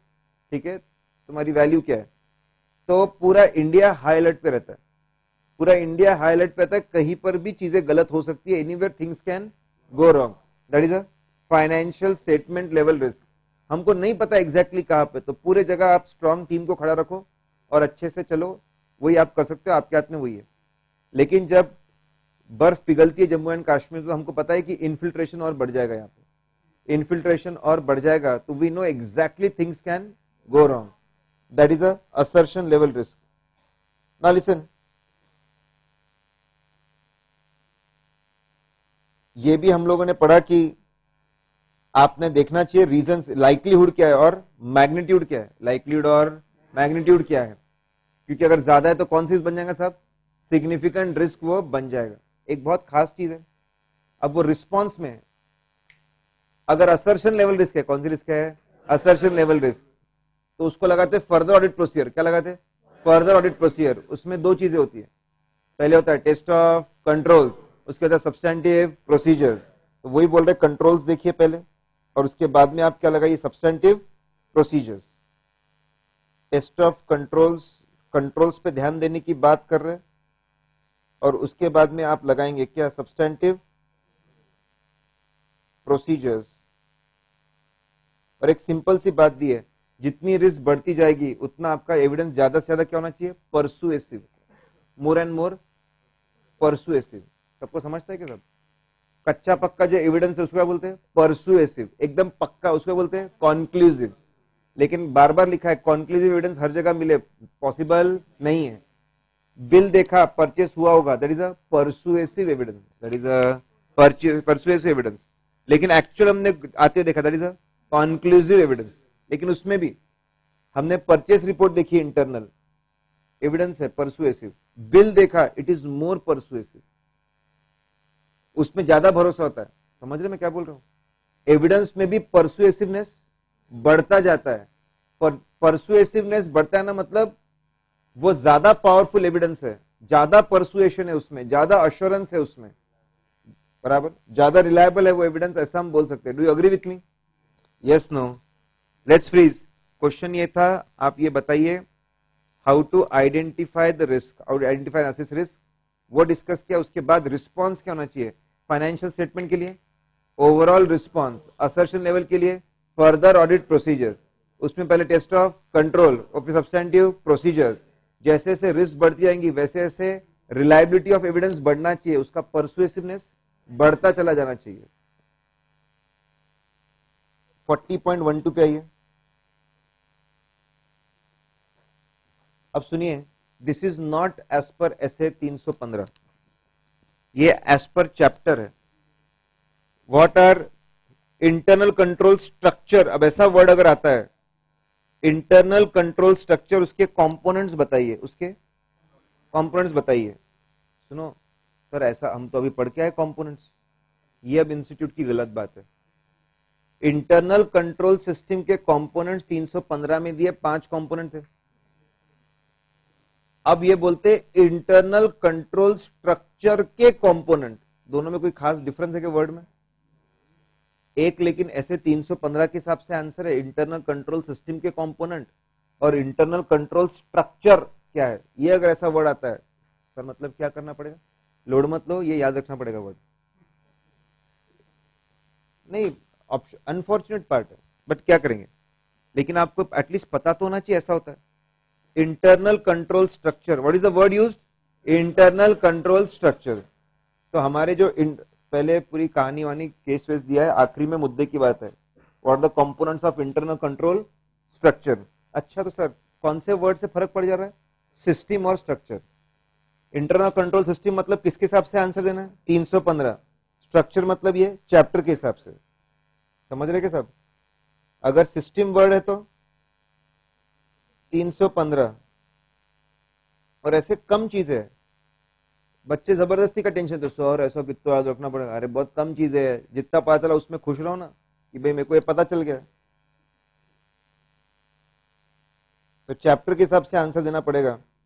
इंटरनल कंट्रोल स्ट्रक्चर ध्यान देंगे। तो उसमें समझाते हैं। इंटरनल कंट्रोल स्ट्रक्चर में सबसे पहला वापस important what is control environment ठीक है बोले? इंटरनल कंट्रोल स्ट्रक्चर में सबसे important what is control environment लोग कितने सीरियस है, कितने, कितना ज़्यादा इंपॉर्टेंस देते किसको? इंटरनल कंट्रोल सिस्टम्स को। फिर सेकंड कंट्रोल प्रोसीजर्स कोई भी ट्रांजैक्शन को करने का इंटरनल कंट्रोल प्रोसीजर इसका मतलब ही होता है control activity segregation of duty होना अप्रूवल्स होना रिकॉर्ड्स रखना डेली रिपोर्ट्स बनना, उसका सुपरविजन होना। दैट इज़ कंट्रोल प्रोसीजर बोले स्ट्रक्चर में सबसे ज़्यादा इंपॉर्टेंट पहले क्या हुआ सब कंट्रोल एनवायरमेंट सबसे इंपॉर्टेंट हुआ सब कंट्रोल एनवायरमेंट उसके बाद में कंट्रोल प्रोसीजर और control procedures now control procedure और तीसरा अब बोल, वो कहते ट्रांजेक्शन कैसे हो रहे हैं? ट्रांजेक्शन कैसे हो रहे हैं? अरे, मैं जो बोल रहा हूँ, उस पर ध्यान दो। डोंट बी लाइक किड्स कुछ भी दिखा स्क्रीन पे नया तो वहाँ देख रहे जो मुद्दे की बात चल रही है, वो छोड़ बोले।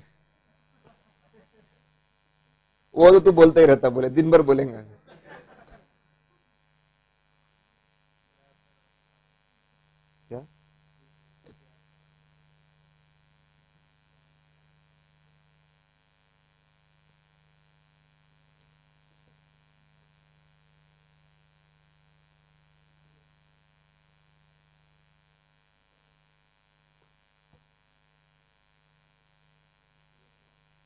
और तीसरा, ये खत्म कर रहे हम लोग। और तीसरा है अकाउंटिंग सिस्टम उसके अंदर आता है।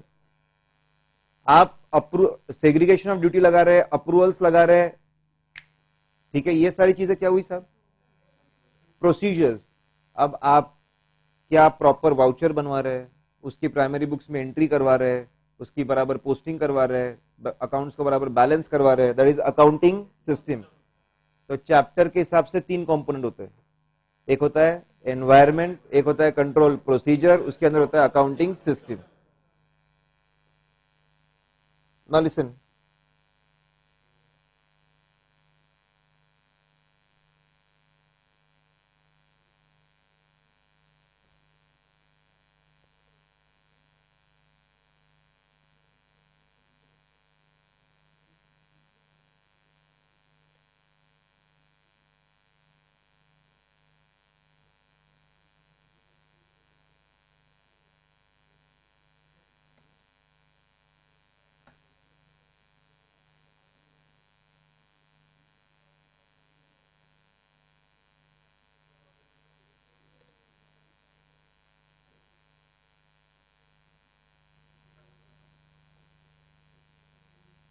ध्यान देंगे।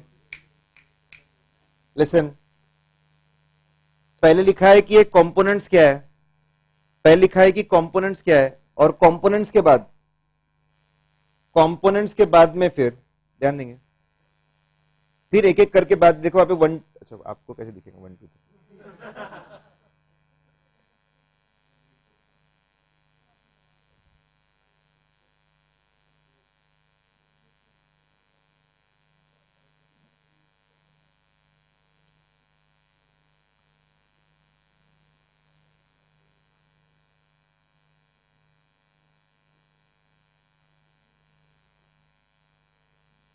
अपने फ़ोन के वाईफाई वाईफाई बंद रखो और ये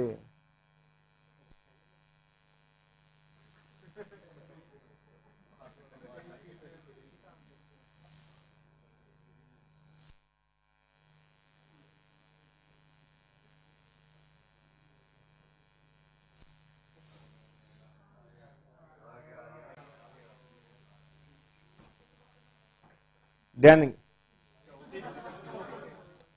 ना लिसन अब इंटरनल कंट्रोल कंपोनेंट उसको समझना चाहिए। वहाँ पे पॉइंट नंबर वन ऐसे 315 में लिखा हुआ है। क्या लिखा है? 315 उनका कहना है बिज़नेस को तो समझना ही है। साथ में इंटरनल कंट्रोल सिस्टम्स और उसके कंपोनेंट्स को समझना है। चैप्टर के हिसाब से तीन कंपोनेंट होते हैं और स्टैंडर्ड के हिसाब से पाँच होते हैं। ये फ़र्क है, बोले ठीक है। फिर वो लोग समझाते हैं। जो बचपन से समझा रहे पहले पॉइंट में समझाते हैं व्हाट इज़ एप्लीकेबल 315 315 इसको गाइड करता है।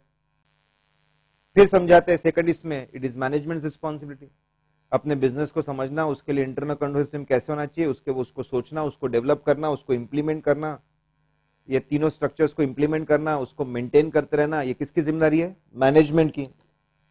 करेक्ट तीसरा ऑडिटर को फाइनेंशियल स्टेटमेंट्स पे अश्योरेंस चाहिए। किस पे? फाइनेंशियल स्टेटमेंट लेकिन फाइनेंशियल स्टेटमेंट्स जो बनते हैं, वो फाइनेंशियल स्टेटमेंट को बनाता कौन है? Internal control systems internal control systems की मदद से बनते हैं। इसीलिए, अगर फाइनेंशियल स्टेटमेंट्स पे अश्योरेंस चाहिए, उस पर ओपियन देना है तो उसके लिए ज़रूरी है, ये पता करना कि सिस्टम्स कितने भरोसेमंद है। सिस्टम जितने ज़्यादा भरोसेमंद होंगे, जितने ज़्यादा अच्छे रहेंगे, जितने ज़्यादा उस पर अश्योरेंस रहेगा, हमको उतना ज़्यादा विश्वास होगा कि इन, आपके फाइनेंशियल स्टेटमेंट्स अच्छे हैं। Are you getting this point? Yes, no. Correct? तो समझा रहे इसलिए दे आर एक्सप्लेनिंग इसलिए वो समझा रहे दे आर एक्सप्लेनिंग कि भाई साहब आपको internal control as a auditor आपको इंटरनल कंट्रोल सिस्टम्स को अच्छे से समझना ज़रूरी है। Are they are they properly design are they operating effectively क्योंकि उससे आपको मदद मिलती है फाइनेंशियल स्टेटमेंट पे भरोसा करने की। Are you getting this point ये और एक आंसर में आने वाला है आगे। इसलिए समझ लो अभी। सिस्टम के अगर इंटरनल कंट्रोल सिस्टम है तो कितने कॉम्पोनेंट है? ऐसे के हिसाब से पाँच। स्ट्रक्चर है तो तीन। और उसके नीचे एकदम सिंपल बात लिखी है। सिस्टम को समझना चाहिए कौन से ऐसे में लिखा है? 315 लेकिन बनाना कौन है? मैनेजमेंट हमने क्या है? समझना है। क्यों समझना ज़रूरी है?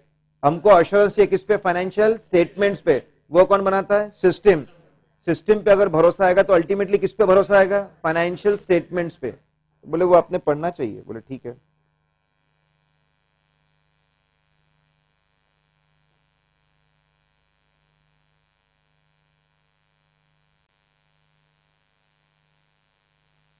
नो नहीं? और क्वेश्चन में बहुत ही वाहियात बातें लिखी है पहले तो। हॉस्पिटल और 20 साल और तीन साल का turnover and pharmacy and laboratory and फलाना एंड ढिकाना, फिर आखिरी में इन दिस कॉन्टेक्स्ट एकदम ही बदल देते अभी तक के जो कोई मतलब ही नहीं उसका। Management wants to understand the concept of component of internal control structure in detail अब वो डायरेक्ट पूछते थे कमेंट अब इस बार ऐसा नहीं किया। मैनेजमेंट वॉन्ट्स टू अंडरस्टैंड इसलिए यू शुड एक्सप्लेन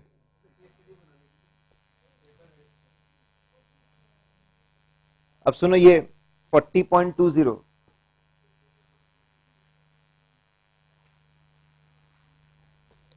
ओ ये क्वेश्चन पढ़ो ना। अरे, पूरा पैराग्राफ ही छाप दिया क्वेश्चन तो है ही नहीं। पूरा पैराग्राफ छाप दिया।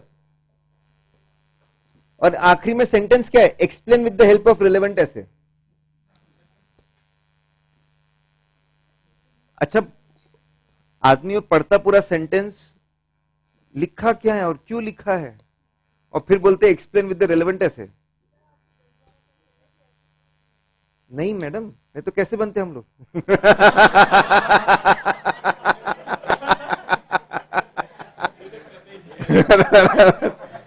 जब मैं पास हुआ 2007 2007 तब तो स्टैंडर्ड्स ऑन ऑडिटिंग ही नहीं थे। तभी! तभी ये है secret to success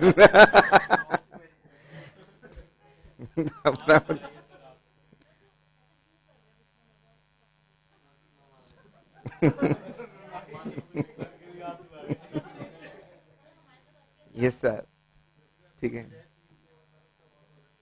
क्या?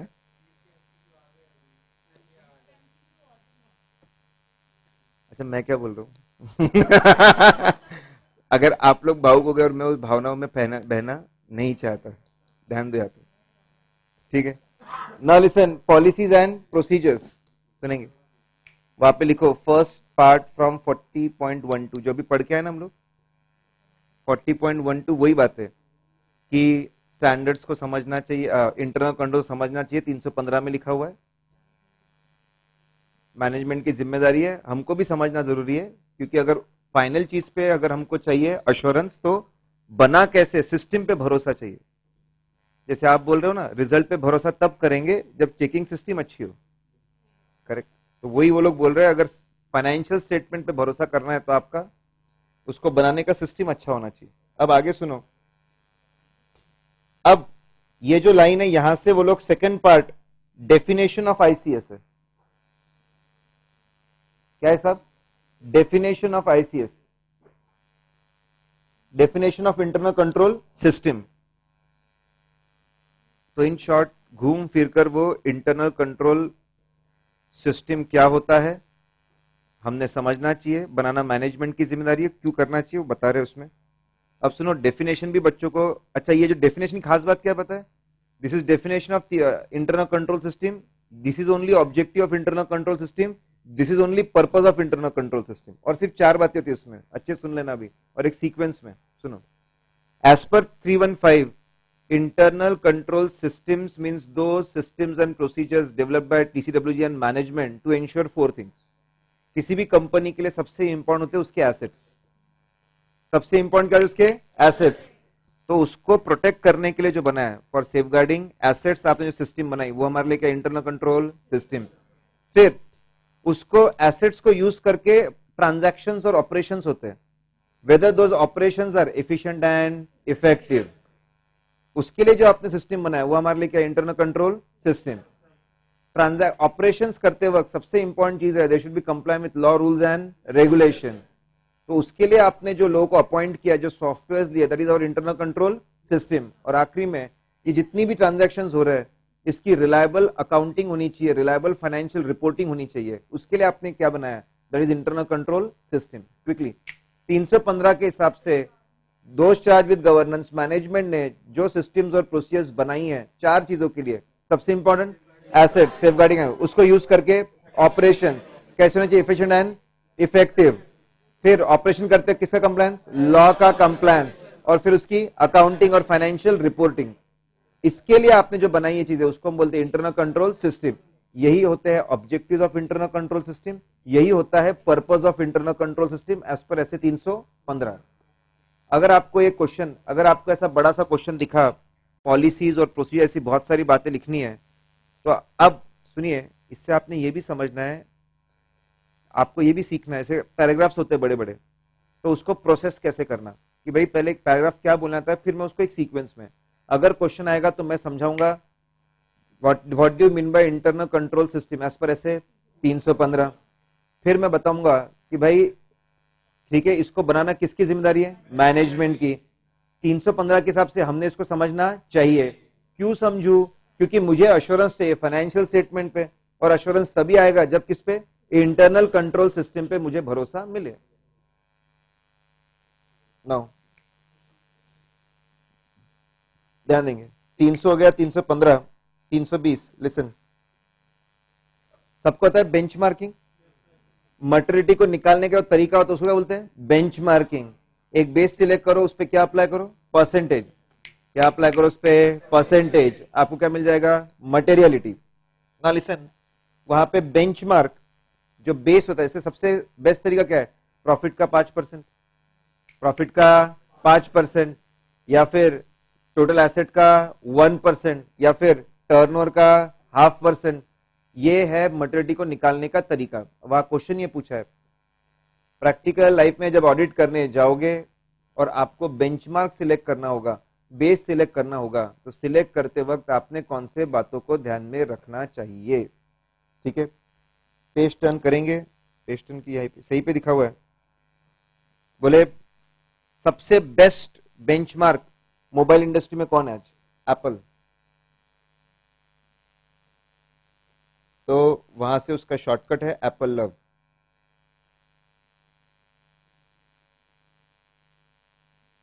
A stand for select करते वक्त आपने ध्यान देना चाहिए अटेंशन ऑफ़ द यूज़र्स क्या बोला साहब? अटेंशन ऑफ़ द यूज़र्स सुनिए, अगर बिज़नेस हाउस है, अगर बिज़नेस हाउस है if we have a business house उनका पूरा फोकस किस पे होगा? प्रॉफिट पे तो बेंचमार्क में किसको लेंगे? प्रॉफिट को। अगर गवर्नमेंट है तो उनका फोकस है कितना ज़्यादा सर्विसेज़ दे रहे हो तुम सोसाइटी को, उनका फोकस किस पे होगा? टर्नओवर पे, उसको बेस बना लो। अगर चैरिटेबल ऑर्गेनाइजेशन है, ना प्रॉफिट में इंटरेस्ट, ना टर्नओवर में, ठीक है? किसको बेस बनाइए साहब? ना प्रॉफिट में इंटरेस्ट है, ना टर्नओवर में, ठीक है? आप टोटल एसेट्स को बेस बनाइए जिसको आप मैनेज कर रहे हो। क्विकली, बेंचमार्क क्या होगा? ठीक है? वो हमको उसके फैक्टर्स देखने उसके लिए उसके फैक्टर्स देखने शॉर्टकट क्या है? Apple apple A for attention of the user अलग अलग एंटिटीज में लोगों का ध्यान अलग अलग चीज़ों पे है। उसके हिसाब से बेंचमार्क को सिलेक्ट किया जाएगा। Then L stand for life cycle जो स्टार्टअप्स है स्टार्टअप्स को प्रॉफिट से कोई मतलब नहीं है। कोई मतलब नहीं है प्रॉफिट से। उनको सिर्फ़ अपना टर्नओवर बढ़ाना है। तो इनिशियल लाइफ स्टेजेस में आप किस पे ध्यान दो? टर्नओवर पे। उसको बेस बनाओ। अब रिलायंस ठीक है, चालीस साल के ऊपर हो गए प्रॉफिट अब नहीं तो कब? तो उनके लिए प्रॉफिट इंपॉर्टेंट है तो उसके लिए बेस में किसको लेके आओ? प्रॉफिट को लेके आओ। Then O stand for ownership ownership ownership किसका पैसा लगा है? अगर बहुत बड़े बड़े शेयर होल्डर है तो उनके हाथ में पूरे प्रॉफिट्स होते हैं। उनके हाथ में पूरे प्रॉफिट्स होते हैं। उसको बेस बनाओ। स्कैटर्ड शेयर होल्डिंग है। स्कैटर्ड शेयर होल्डर्स के हाथ में सिर्फ़ डिविडेंड मिलता है। क्या मिलता है? डिविडेंड तो प्रॉफिट अवेलेबल फॉर डिविडेंड उसको आप देख देखिए। ओनर्स क्या है? ओनर्स की सोच क्या है? उस पर डिपेंड करता है कि बेस में क्या होना चाहिए। Now V stand for volatility V stand for volatility जो भी बेस सिलेक्ट करो it should not be very volatile क्या होगा? अगर बेस बहुत ज़्यादा कम ज़्यादा होगा तो मटेरिटी लेवल भी बहुत ज़्यादा कम ज़्यादा होगी। पिछले साल कुछ चीज़ें मटेरियल हुआ करती, इस साल मटेरियल नहीं है। इससे टीम भी कंफ्यूज होगी अकाउंट्स टीम भी कंफ्यूज होगी, इसलिए it should not be very volatile और आखिरी में E stand for it should be one of the element of financial statement जैसे भी मैंने बोला profit is element of financial statement ठीक है? Turnover is element total asset is element net asset is element ये सारे एलिमेंट्स है. Let's please guys अगर हमको बेंचमार्क सिलेक्ट करना है तो कौन सा? Apple love A for attention of the user L for life cycle of the organization O stand for ownership ownership preferences कितने हैं? वी स्टैंड फॉर वोलेटिलिटी और आखिरी में E stand for element of financial statement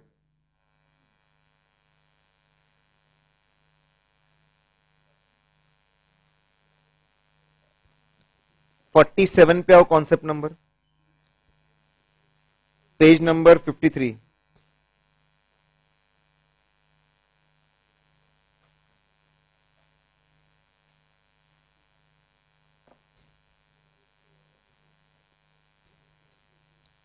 ध्यान देंगे listen compliance procedures या फिर ये टेस्ट ऑफ़ कंट्रोल्स इसको बोल सकते हैं?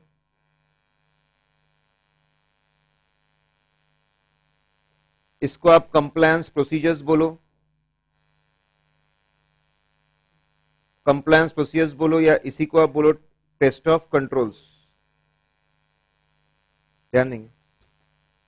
पहले डेफिनेशन ऑडिट में जब हम जाकर देखते रहे चेक करते हैं कि whether internal control systems are able to prevent detect और correct material misstatements are they operating effectively उसको हम बोलते टेस्ट ऑफ़ कंट्रोल्स गलती नहीं होनी चाहिए। परचेस में अप्रूवल लगा दो। गलत परचेस नहीं होगा। प्रिवेंटिव कंट्रोल्स कौन सा कंट्रोल साहब?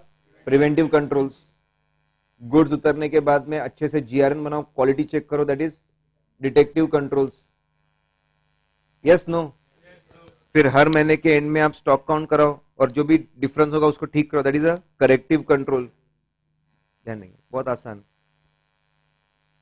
टेस्ट ऑफ़ कंट्रोल्स मतलब ये चेक करना कि कंट्रोल्स प्रिवेंट डिटेक्ट और करेक्ट कर पा रहे क्या गलतियों को और आर दे ऑपरेटिंग इफेक्टिवली अब सुनो क्या लिखते थेरी में। कौन से कंट्रोल्स चेक करना चाहिए? सारे कंट्रोल्स चेक नहीं करने चाहिए। We are not suppose to check all the controls we are not internal auditors we are not internal auditors सारे कंट्रोल्स हम चेक नहीं कर सकते। सारे कंट्रोल चेक करने हम लोग लग गए तो हमारा काम नहीं कर पाएँगे। It's use thing to check all the controls तो बोले, क्या करना? समझा रहे सारे कंट्रोल्स चेक करने की ज़रूरत नहीं है। दो दो तरह के कंट्रोल्स चेक करने पड़ते हैं। नंबर वन जब आप 315 में रिस्क असेसमेंट कर रहे थे जब आप जब आप रिस्क असेसमेंट कर रहे थे रिस्क असेसमेंट करते वक्त, तब आपने वहाँ पे आइडेंटिफाई किया था कि इस रिस्क को कॉम्पनसेट करने के लिए रिलेवेंट कंट्रोल्स कौन से थे? कि हाँ ये मेरे रिस्की आइटम्स है और ये कंट्रोल मुझे अच्छा लग रहा है, ये इस गलती को रोक देगा। ये इस गलती को रोक देगा। मुझे लग रहा था कि रिटेल में स्टॉक में रिस्क है। कहाँ रिस्क है? स्टॉक में। लेकिन मुझे पता चला कि वो हर हफ़्ते स्टॉक काउंट करवाते ये कंट्रोल गलती को रोक देगा। तो वो वीकली स्टॉक काउंटिंग बराबर होती है क्या? मैं वो चेक करूँगा। क्विकली सारे कंट्रोल चेक करने की ज़रूरत नहीं है। वो कंट्रोल्स चेक करो जो आप रिस्क असेसमेंट करते वक्त आपने जिसको आइडेंटिफाई किया था एज अ रेलिवेंट कंट्रोल जो गलतियों को रोक पाएगा। पहला इज़ पॉइंट क्लियर दूसरा दूसरा, देखो ये इसमें पहला वन और ये टू बोले, आजकल ऑटोमेशन भयंकर हो गया इतना भयंकर ऑटोमेशन है कि कुछ कुछ जगह तो हम पूरे सिस्टम के भरोसे चल रहे हैं। स्टॉक मार्केट सब स्टॉक मार्केट है। स्टॉक मार्केट हम पूरा का पूरा किसके भरोसे चल रहे सिस्टम के भरोसे चल रहे कंप्लीटली एवरीथिंग इज़ ऑटोमेटेड पूरे सौदे जो है, जो मैचिंग है ऑटोमेटेड चल रहा है आपका। बैंकिंग कंप्लीटली सिस्टम के भरोसे चल रहा है। क्या बोलते पता है ऐसे एरिया बैंक्स कंप्लीट सिस्टम के भरोसे हम लोग चल रहे हैं। Listen what they are saying ऐसे कुछ एरिया होते हैं जो पूरे सिस्टम के भरोसे उसको बोलते हैं there are areas where substantive procedures alone can not give sufficient appropriate evidence test of control करना ही पड़ेगा। टेस्ट ऑफ़ कंट्रोल करना ही पड़ेगा कंट्रोल देखने ही पड़ेंगे कंट्रोल्स कितने अच्छे चल रहे हैं। तभी मैं इस एरिया में चेकिंग कर पाऊँगा, बिना टेस्ट ऑफ़ कंट्रोल के आगे ही नहीं बढ़ सकता। ऐसे एरिया को क्या बोलते हैं? Areas where areas where substantive procedures alone can not provide sufficient and appropriate evidence वहाँ तो टेस्ट ऑफ़ कंट्रोल करना पड़ेगा। सुनो, पहले की सोच क्या थी मैं आपको बता रहा हूँ। पुराने जमाने की सोच ये थी कि टेस्ट ऑफ़ कंट्रोल एक सिर्फ़ इंटरमीडिएट स्टेप है। क्या है? इंटरमीडिएट स्टेप इससे आगे के स्टेप पे फ़र्क पड़ता है कि सब्सटेंटिव कम, कि सब्सटेंटिव ज़्यादा। स्टेप निकाल भी दोनों बोले। फ़र्क नहीं पड़ता डायरेक्टली तुम किस पे जाओ? सब्सटेंटिव पे, ज़्यादा परफॉर्म कर लो। ज़्यादा परफॉर्म कर लो दैट्स इट लेकिन अब बोल रहे नए जमाने में ऐसे कुछ एरिया है जहाँ पे टेस्ट ऑफ़ कंट्रोल्स को इग्नोर नहीं कर सकते, जहाँ पे सब्सटेंटिव प्रोसीजर सिर्फ़ अकेले they can not give sufficient and appropriate evidence आज अगर मैं बैंक में जाके बोलूँगा, मेरे को सिस्टम चेक नहीं करना, मैं सिर्फ़ वाउचिंग वेरिफिकेशन ज़्यादा कर लेता हूँ, उससे बात बनने वाली नहीं है। देखो सिस्टम चेक करना ही पड़ेगा। लेट्स प्लीज़ पहले डेफिनेशन बताते पहले क्या बताते हैं? डेफिनेशन फिर समझाते which control should be tested कितने कंट्रोल्स दो। पहला, वो कंट्रोल्स जो हमने मार्क किया था एज अ रेलेवेंट कंट्रोल जब हम क्या कर रहे थे? रिस्क असेसमेंट कौन से ऐसे में? 315 में। और दूसरा, ऐसे एरियाज़ जहाँ पे procedures alone can not provide sufficient and appropriate evidence फिर nature of checking nature of checking सब लोग नेचर ऑफ़ चेकिंग क्या होती है सर तो वहाँ पे चेक करना पड़ेगा। By whom and by what means कौन लगा रहा है कंट्रोल और कैसे लगा रहा है? By whom and by what means is it automated control is it a manual control by whom and by what means अरे, वो सॉफ्टवेयर ना परचेस प्राइस को ऑटोमेटिकली अग्रीमेंट से और पिछले तीन महीने के एवरेज से मैच करता है। और अगर डिफरेंस निकला दस परसेंट के ऊपर तो वो बोलता है कि सीएफओ अप्रूवल रिक्वायर्ड अच्छा सॉफ्टवेयर खुद चीज़ों को मैच करता है और अगर डिफरेंस निकला तो ट्रांजैक्शन को रोक देता है। It is automated control and by what means comparison करके वो चीज़ों के डिसीज़न लेता है। सीनियर मैनेजर का अप्रूवल चाहिए if purchase amount goes beyond 50 lakhs beyond 50 lakhs अगर जाता है सीनियर मैनेजर का सिग्नेचर चाहिए। By whom by individual by what means signature nature of checking में समझो by whom and by what means by whom and by what means वो summary दी है। डिटेल नहीं पढ़ा तो चलेगा। By whom and by what means दूसरा समझो टेस्ट करो। कंसिस्टेंसी किसी भी डिपार्टमेंट का परचेस हो, किसी भी आदमी से परचेस कर रहे हो रिलेटेड पार्टी हो या ना हो, किसी भी महीने में हो consistently it should be applied to each and every it should be consistently applied to each and every purchase, each and every purchase को लगना चाहिए। इज़ दिस पॉइंट क्लियर फिर, क्या साल भर इसको बराबर अप्लाई कर रहे हैं? एक तो सभी ट्रांजैक्शन को लगना चाहिए और सभी महीनों में भी लगना चाहिए। Be operating effectively throughout the year throughout the period it should be operating effectively वो चेक करना है।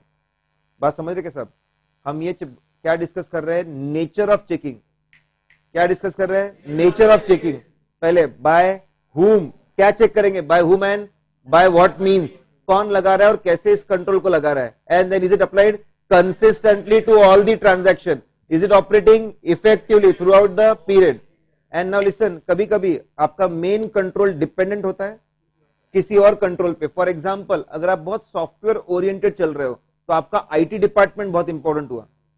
आईटी डिपार्टमेंट पे आप डिपेंडेंट हो तो आईटी डिपार्टमेंट बराबर चल रहा है कि वो देखना पड़ेगा। अगर आप बहुत ह्यूमन बींग स्पेसिफिक है तो उनकी ट्रेनिंग और रिक्रूटमेंट कैसा है वो देखना पड़ेगा। मशीन है तो उसका मेंटेनेंस एंड रिपेयर कैसा है वो देखना पड़ेगा। तो आपको कभी कभी इनडायरेक्ट कंट्रोल्स भी चेक करने पड़ेंगे। समझ रहे क्या भाई?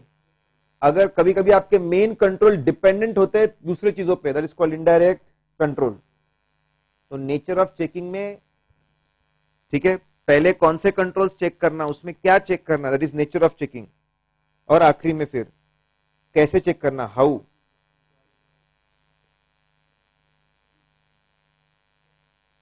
how to check nature में व्हाट टू चेक था? क्या चेक करना? और यहाँ पे विच कंट्रोल्स था? कौन से कंट्रोल चेक करना? थेरी स्टैंडर्ड की थेरी है बहुत सिस्टमेटिक पहले डेफिनेशन है, फिर कौन से कंट्रोल चेक करना? नेचर मतलब क्या चेक करना? व्हाट टू चेक फिर क्या है आपका? हाउ टू चेक ये तो बहुत ही आसान, बचपन से पढ़ रहे हम।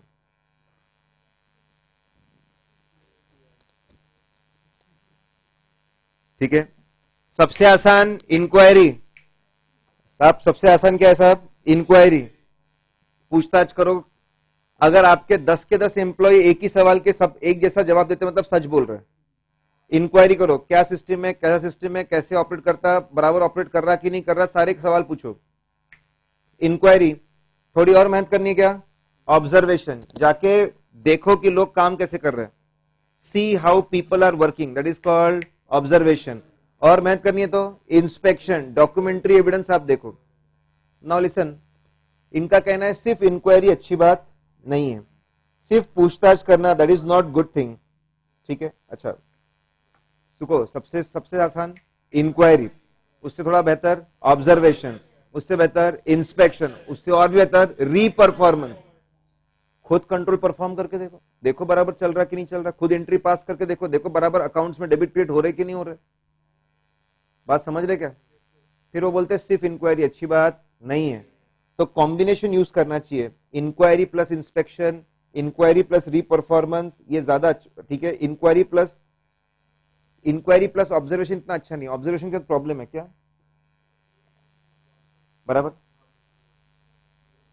इंक्वायरी के साथ फ़ोन में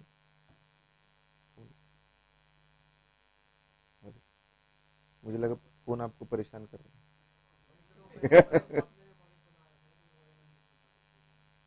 कोई बात नहीं। ध्यान देंगे। अरे ये चल भी रहा रिकॉर्डिंग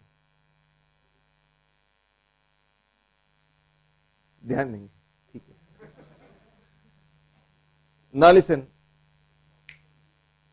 तो कॉम्बिनेशन ऑब्जर्वेशन में क्या प्रॉब्लम है? It gives you momentary evidence and the point is the fact that you are being observe changes the behaviour of the person आपके सामने एक बिहेवियर है, आपके पीछे कुछ और बिहेवियर है. Auditors are most respected on the face and most abuse at the back तो वो समझा रहे इसलिए इंक्वायरी प्लस ऑब्जर्वेशन इन सबसे अच्छा है inquiry plus inspection and reperformance ठीक है? ओके 330 में पहले पढ़ा टेस्ट ऑफ़ कंट्रोल्स क्या पढ़ा साहब? टेस्ट ऑफ़ कंट्रोल पहले समझाना definition when which controls then nature of checking what to check then how to check अब ये सुनो, ध्यान देंगे। Test of control interim visit ये अंडरलाइन कर लो और ये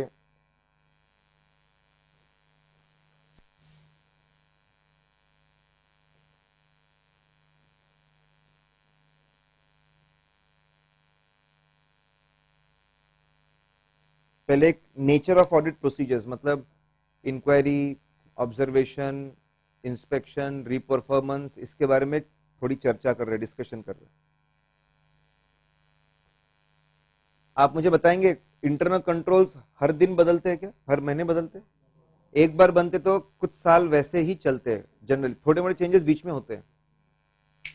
कंट्रोल्स बहुत ड्रास्टिकली हर हर साल बदलते नहीं है। तो क्या पिछले साल मैंने इंटरनल कंट्रोल्स का फ्लो चार्ट बनाया था, उसके मैंने सबूत इकट्ठा किए थे, क्या मैं उसको इस साल यूज़ कर सकता हूँ? यस. सुनो, क्या लिखा है स्टैंडर्ड्स में? स्टैंड में ऐसा लिखा हुआ है, आप, आपके टेस्ट ऑफ़ कंट्रोल्स को ऐसा प्लान करो। आप आपके टेस्ट ऑफ़ कंट्रोल को ऐसा प्लान करो कि सभी कंट्रोल्स को एक साथ चेक करने की ज़रूरत ना पड़े। हर साल आप थोड़े थोड़े कंट्रोल्स चेक करो। और कंट्रोल टेस्टिंग के बीच में दो साल का गैप रह सकता है। कंट्रोल टेस्टिंग के बीच में दो साल का गैप रह सकता है। इसी को और एक तरीके से बोलते हैं वंस इन थ्री इयर्स जो आपको कंट्रोल टेस्टिंग करनी है, वो आप कर सकते हैं once in three years official लिखा हुआ है 315 में। 330 में सॉरी लिसन पहले थोड़ा सा ज्ञान बांटते inquiry observation inspection reperformance nature of procedures का। फिर ज्ञान बांटते, पिछले साल का सबूत तो यार आपने लेना ही चाहिए, खुद स्टैंडर्ड अलाउ करता है, बिल्कुल लो, लेकिन कहानी कुछ और चीज़ की है। अब है interim visit sir interim visit क्या होता है? जब हम लोग साल खत्म होने के पहले ही जाकर चेकिंग कर लेते हैं, ठीक है? उसको बोलते हैं इंट्रीम विज़िट बड़े बड़े क्लाइंट्स पे आपने देखा होगा दिसंबर एंडिंग तक की पूरी चेकिंग कर लेते ठीक है? दिसंबर एंडिंग तक बहुत सारी चीज़ें जाके चेक कर लेते बोले दिसंबर तक पूरी चेकिंग खत्म कर दो एक बार की। दिसंबर तक सारे टेस्ट ऑफ़ कंट्रोल कर डालो दिसंबर तक सारे सब्सटेंटिव प्रोसीजर कर डालो। आर यू गेटिंग इस पॉइंट उसको बोलते इंटरिम चेकिंग तो वो बत, वो अब समझा रहे अब आ रहे मुद्दे पे क्वेश्चन इस पे। क्या टेस्ट ऑफ़ कंट्रोल में मैं ऐसा कर सकता हूँ क्या मैं कि मैं इंटरिम चेकिंग की मदद लू? बिल्कुल बोले, करना ही चाहिए। दिसंबर तक आप चीज़ों को एक बार चेक कर लो। और उसके बाद में फिर आप तय करो जैन फेब मार्च में आपको further audit procedure further audit evidence कितना लेना पड़ेगा। 330 में अलाउड है। पहले इंट्रीम चेकिंग करके सबूत ले लो और फिर आगे थोड़ी कम चेकिंग करो। ठीक है? और उसके बेसिस पे ओपन आप दे सकते हो। तो इंट्रीम चेकिंग इज़ अलाउड ठीक है? लेकिन बोले इंट्रीम चेकिंग के बाद बचे हुए समय के लिए आपको क्या लेना पड़ेगा? फर्दर ऑडिट एविडेंस कहना पड़ेगा साहब? फर्दर ऑडिट एविडेंस कौन से, अब ये आंसर है, कौन से फैक्टर्स पे डिपेंड करता है कि फर्दर ऑडिट एविडेंस कम होना चाहिए कि ज़्यादा होना चाहिए? वापस शॉर्टकट है। इसे डिपेंड करता है आपके लिंक्स कितने अच्छे हैं सीनियर के साथ। ऑडिट सीनियर के साथ। ठीक है? L stand for length of remaining time period बहुत आसान। अगर बचा हुआ समय तीन महीने, चार महीने, छह महीने, आठ महीने, अगर ऐसा है, जितना ज़्यादा लंबा समय होगा बचा हुआ, उतनी मेहनत ज़्यादा। उतना फर्दर ऑडिट एविडेंस हम ज़्यादा लेंगे। Then I stand for interim test interim test जो आपने परफॉर्म किए, उसके कैसे रिजल्ट्स मिले? अगर बहुत बुरे रिजल्ट्स थे सिस्टम बहुत बेकार लग रहा था, इतने आसानी से भरोसा नहीं कर सकते तो वापस भरोसा करने के पहले फर्दर ऑडिट एविडेंस ज़्यादा लगेगा। Then N stand for nature and amount of transaction भाई साहब, बहुत ही बड़ा ट्रांजैक्शन है, बहुत ज़्यादा रिस्क है। बहुत ज़्यादा रिस्क है। माना इंट्रीम चेकिंग की होगी। और क्या ले लो? Further audit evidence length of time period ज़्यादा है तो और क्या ले लो?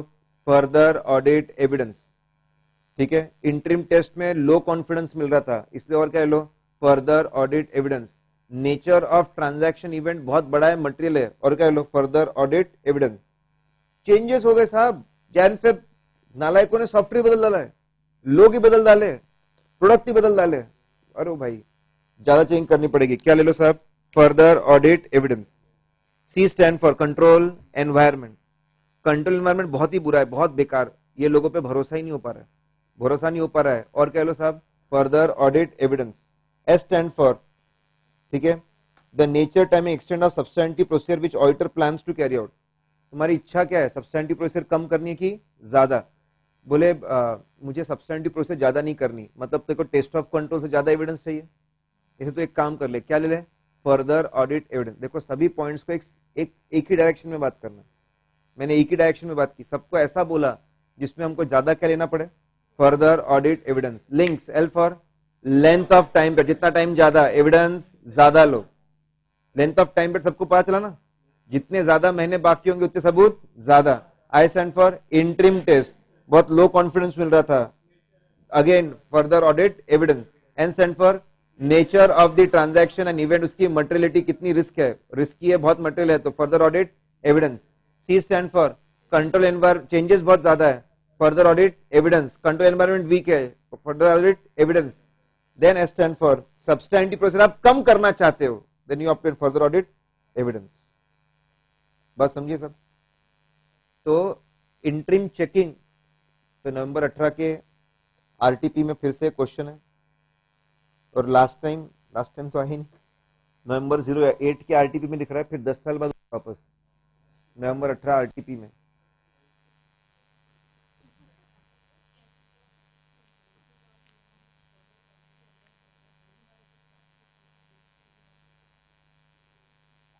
यहाँ पे जो मैंने फर्दर ऑडिट एविडेंस बोला, वो बचे हुए पीरियड का था। Jan Feb March it has nothing to do with substantive procedures वो अलग है। टेस्ट ऑफ़ कंट्रोल खत्म। टेस्ट ऑफ़ कंट्रोल में अप्रोच ही सही है। समझ रहे क्या साहब? टेस्ट ऑफ़ कंट्रोल में अप्रोच है कि एक अप्रोच में लगा सकता हूँ कौन सा? इंट्रीम चेकिंग का। अरे are you getting this point इतने शांत क्यों भाई? मतलब देखो, मेरे ऊपर लाइट्स ज़्यादा है इट इज़ मोर ठीक है मोर अनकंफर्टेबल हियर करेक्ट तो इन्हें, आप ideally your energy level should be much more your enthusiasm should be much more correct ध्यान देंगे। चलो मैं कुछ सुना देता हूँ। नहीं नहीं, अभी हम ब्रेक नहीं ले सकते, क्योंकि अगर बीच में कभी ऐसा हुआ ऐसा हुआ कि अभी तो सब बैकअप बैकअप सब है, लेकिन बैकअप में कोई तो फिर ऑटोमेटिक ब्रेक देना ही पड़ेगा तब। अच्छा मैं कुछ सुनाया था ना एकदम, अभी तक आपने क्या क्या सुना? वो, नहीं, वो, लालटेन डेडेंट डेडेंट डेडेंट फिर पानी का पोपट जेम्स बॉन्ड अच्छा अब मैं अच्छा वो सिगार भी तो था।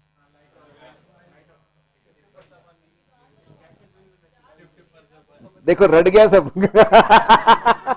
जो नहीं रटना चाहिए, वो सब पूरे रट दे रहे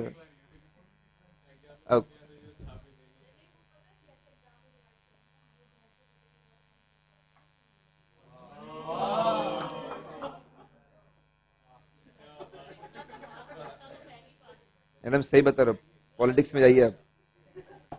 पॉलिटिशियंस भी कुछ भी बोलते रहते।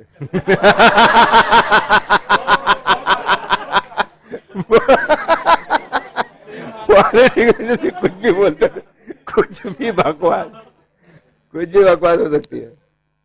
ठीक है, ध्यान दो, दिल्ली में हूँ मैंने। अच्छा ठीक किसी का नाम तो लिया ही नहीं, किसी के बारे में बोला ही नहीं। यहाँ मेरे को, ठीक है, उठा ले, बोलना ही नहीं कुछ।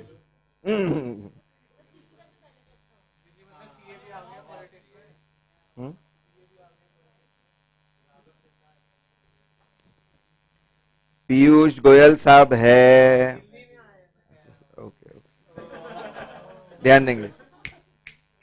लिसन देखो, बैठ गए हम लोग। हाँ तो कुछ जहर में सुनाना था। चलो, एक विजुअल जहर सुना दो बोले, ये तो और ही नेक्स्ट लेवल नेक्स्ट लेवल ऐसा भी होता है, बोले।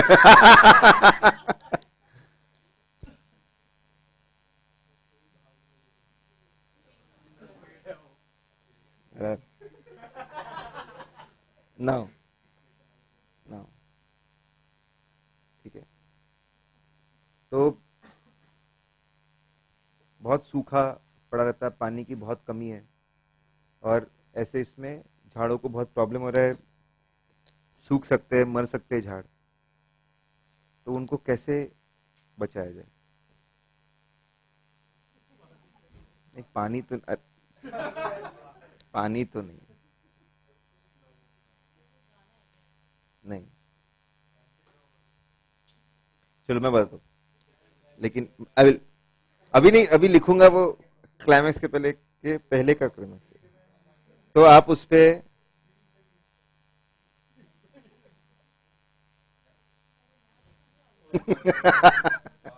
आप ये लिख दो वहाँ पे।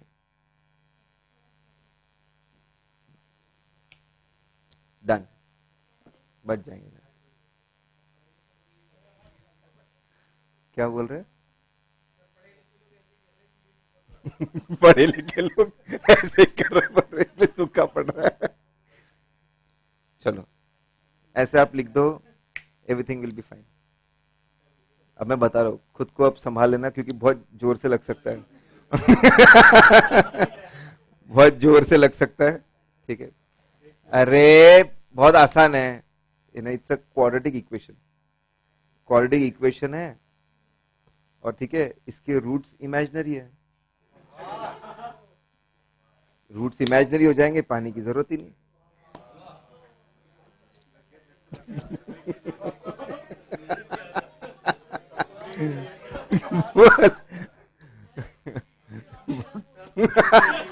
है ना, यहाँ है ना। फोड़ो फोड़ो।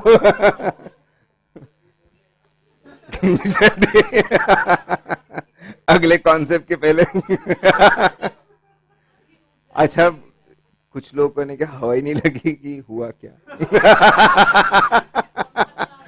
ना बोले, ये बकवास इसने झाड़ क्यों बनाया पहले? फिर झाड़ बनाने बाद सूखा क्यों पड़ा? सूखे के बाद इक्वेशन क्यों लिखा?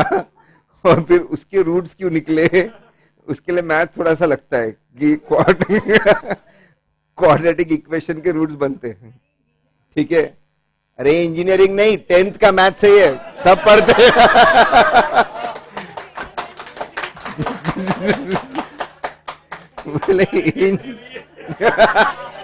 डायरेक्ट एंट्री टेंथ तो सबको करना पड़ता।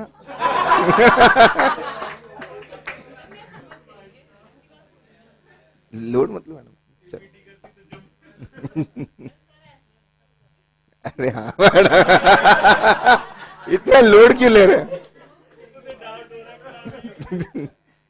ध्यान दो। तो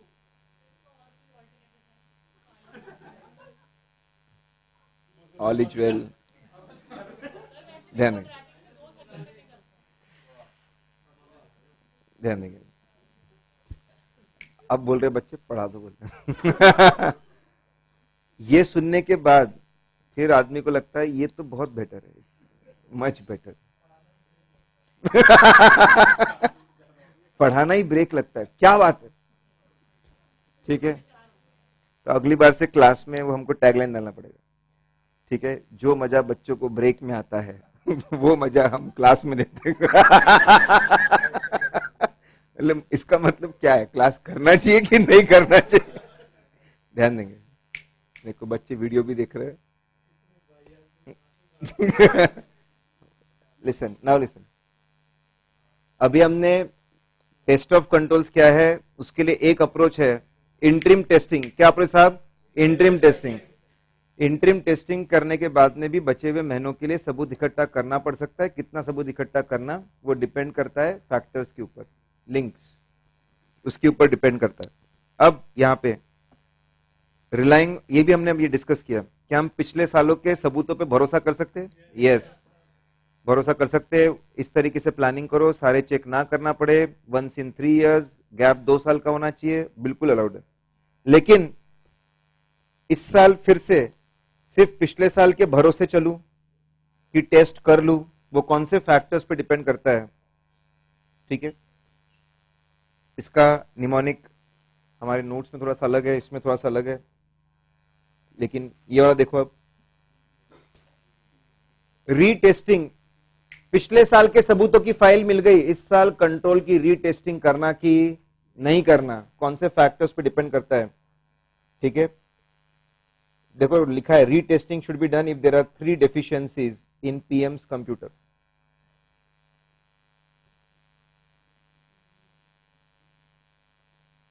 three deficiencies retesting करना कि नहीं three deficiencies three D stand for deficiency in monitoring controls deficiency in monitoring controls हमको ऐसा लगा कंपनी का कोई ध्यान नहीं है अपने इंटरनल कंट्रोल सिस्टम्स पे, उसको वो स्टडी नहीं करते एनालाइज नहीं करते, उसको इम्प्रूव नहीं करते। तो कंपनी पे बिल्कुल भरोसा, बिल्कुल बेकार कोई मॉनिटरिंग नहीं कर रहे। हमको ही थोड़ा सतर्क रहना चाहिए और हमको ही टेस्ट कर लेना चाहिए कि इस साल कंट्रोल बराबर चल रहा कि नहीं चल रहा। तो बोले टेस्टिंग कर डालो। डेफिशिएंट कंट्रोल एनवायरमेंट बिल्कुल सीरियस नहीं है इंटरनल कंट्रोल्स के प्रति, ना मॉनिटरिंग करते, ना सीरियस है, ना एटीट्यूड है, ना इंपॉर्टेंस देते, ना उसकी वजह पे एक्शन लेते। ठीक है? बहुत ही बेकार एनवायरमेंट है कंट्रोल फेल हो सकते हैं, फिर से रीटेस्टिंग कर दो। डेफिशिएंट जनरल आईटी कंट्रोल्स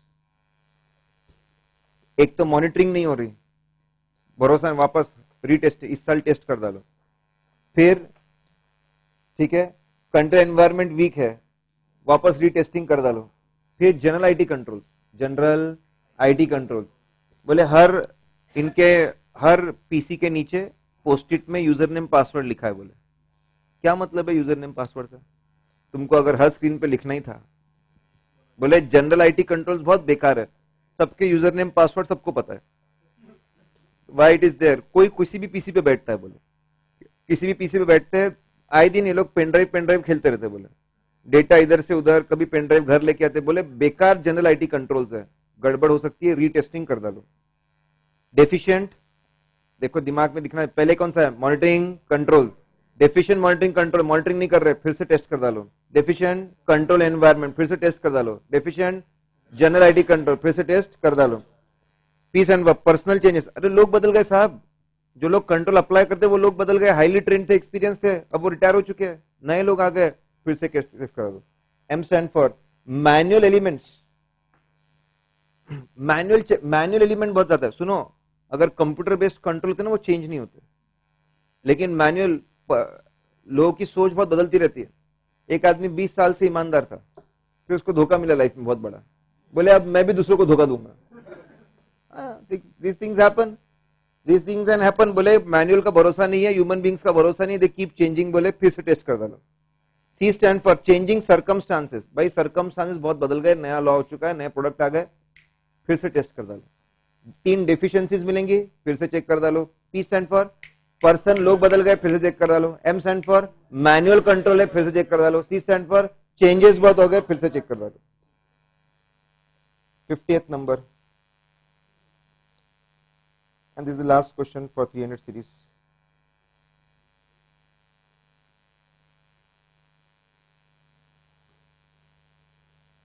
ध्यान देंगे टेस्ट ऑफ़ कंट्रोल के बाद सब्सटैंटिव प्रोसीजर्स लिसन बहुत आसान. पहला क्या लिखा है?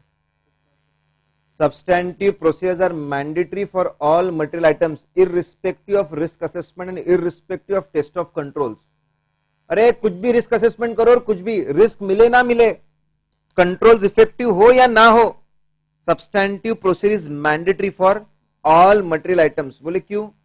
बोले risk assessment is full of judgement तुम्हारे हाथ से कोई रिस्क छूट गई तो? एंड कंट्रोल्स में there are inherent limitation controls fail हो गए तो? इसलिए रिस्क असेसमेंट कुछ भी हो। रिस्क असेसमेंट कुछ भी हो टेस्ट ऑफ़ कंट्रोल कुछ भी हो, हर मटेरियल आइटम के लिए। हर मटेरियल आइटम के लिए क्या करना ज़रूरी है? सब्सटैंटिव प्रोसीजर ज़रूरी है। हाँ एक बात है बोले। कंट्रोल्स अच्छे होंगे तो चेकिंग कम करेंगे। कंट्रोल्स बेकार होंगे तो चेकिंग ज़्यादा करेंगे। लेकिन इतना तय for all material items what is mandatory अरे for all material item what is mandatory substantive सब जवाब देंगे what is mandatory substantive procedures हाँ लेकिन extent of checking can reduce और increase depending on effect of test of control कैसे implement करते हैं? दो टाइप है। या तो ओनली सब्सटैंटिव एनालिटिकल प्रोसीजर या तो ओनली टेस्ट ऑफ़ डिटेल्स या दोनों का कॉम्बिनेशन। भाई, इनके फैक्ट्री में 10 मीटर्स है इलेक्ट्रिसिटी के। क्या सॉफ्टवेयर है? क्या सॉफ्टवेयर है? उसमें सिर्फ़ हर महीने की रीडिंग डालनी पड़ती। अपने आप वो डिफरेंस निकाल लेता है महीने भर में कितने यूनिट्स कंज्यूम हुए अपने आप स्लैब्स के हिसाब से कितना बिल आना चाहिए विद टैक्सेस निकाल लेता। अपने आप वो आपके इलेक्ट्रिसिटी बोर्ड के साइट से लिंक्ड है। जैसे वहाँ पे बिल अपडेट होता चेक कर लेता बिल कितना है? पाँच परसेंट के ऊपर डिफरेंस नहीं चेक प्रिंट कर देता। सुपर सिस्टम है।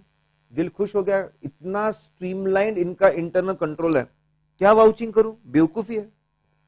बेवकूफ़ी है वाउचिंग करना। एवरीथिंग इज़ ऑटोमेटेड देखा मैंने उसके सब कुछ। बराबर वो ऑपरेट कर रहा था। एक काम कर बेटा। मंथली ग्राफ बना। दो चीज़ों का।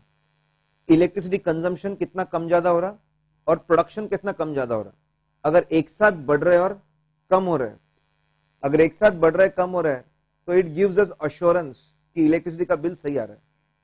क्योंकि जब प्रोडक्शन ज़्यादा बिल ज़्यादा प्रोडक्शन कम बिल कम, सिर्फ़ एनालिटिकल लगा और खत्म कर। इनफैक्ट जो अदर एक्सपेंस होता है ना, चाय पानी खर्चे, उसके बिल मांगे ना क्लाइंट मारेगा, पकड़ के। फ़र्स्ट आर्टिकल माँगता है the most dangerous person on the earth चाय का बिल का है। किधर से आया तू? ठीक है? तो वहाँ पे सिर्फ़ एनालिटिकल प्रोसीजर एनालिटिकल प्रोसीजर लगाने का, खत्म करने का। सिर्फ़ आप अदर एक्सपेंस पिछले चार पाँच साल के खर्चों का आप ग्राफ बना लो ओनली एनालिटिकल प्रोसीजर या फिर only TOD test of details legal expense में काहे का एनालिटिकल प्रोसीजर हाईली इराटिक कोई उसका कहीं से रिलेशन नहीं है। आप एक काम करो, सिर्फ़ बिल एग्रीमेंट देख करके खत्म करो। या उसका कॉम्बिनेशन सैलरी में दोनों यूज़ करो।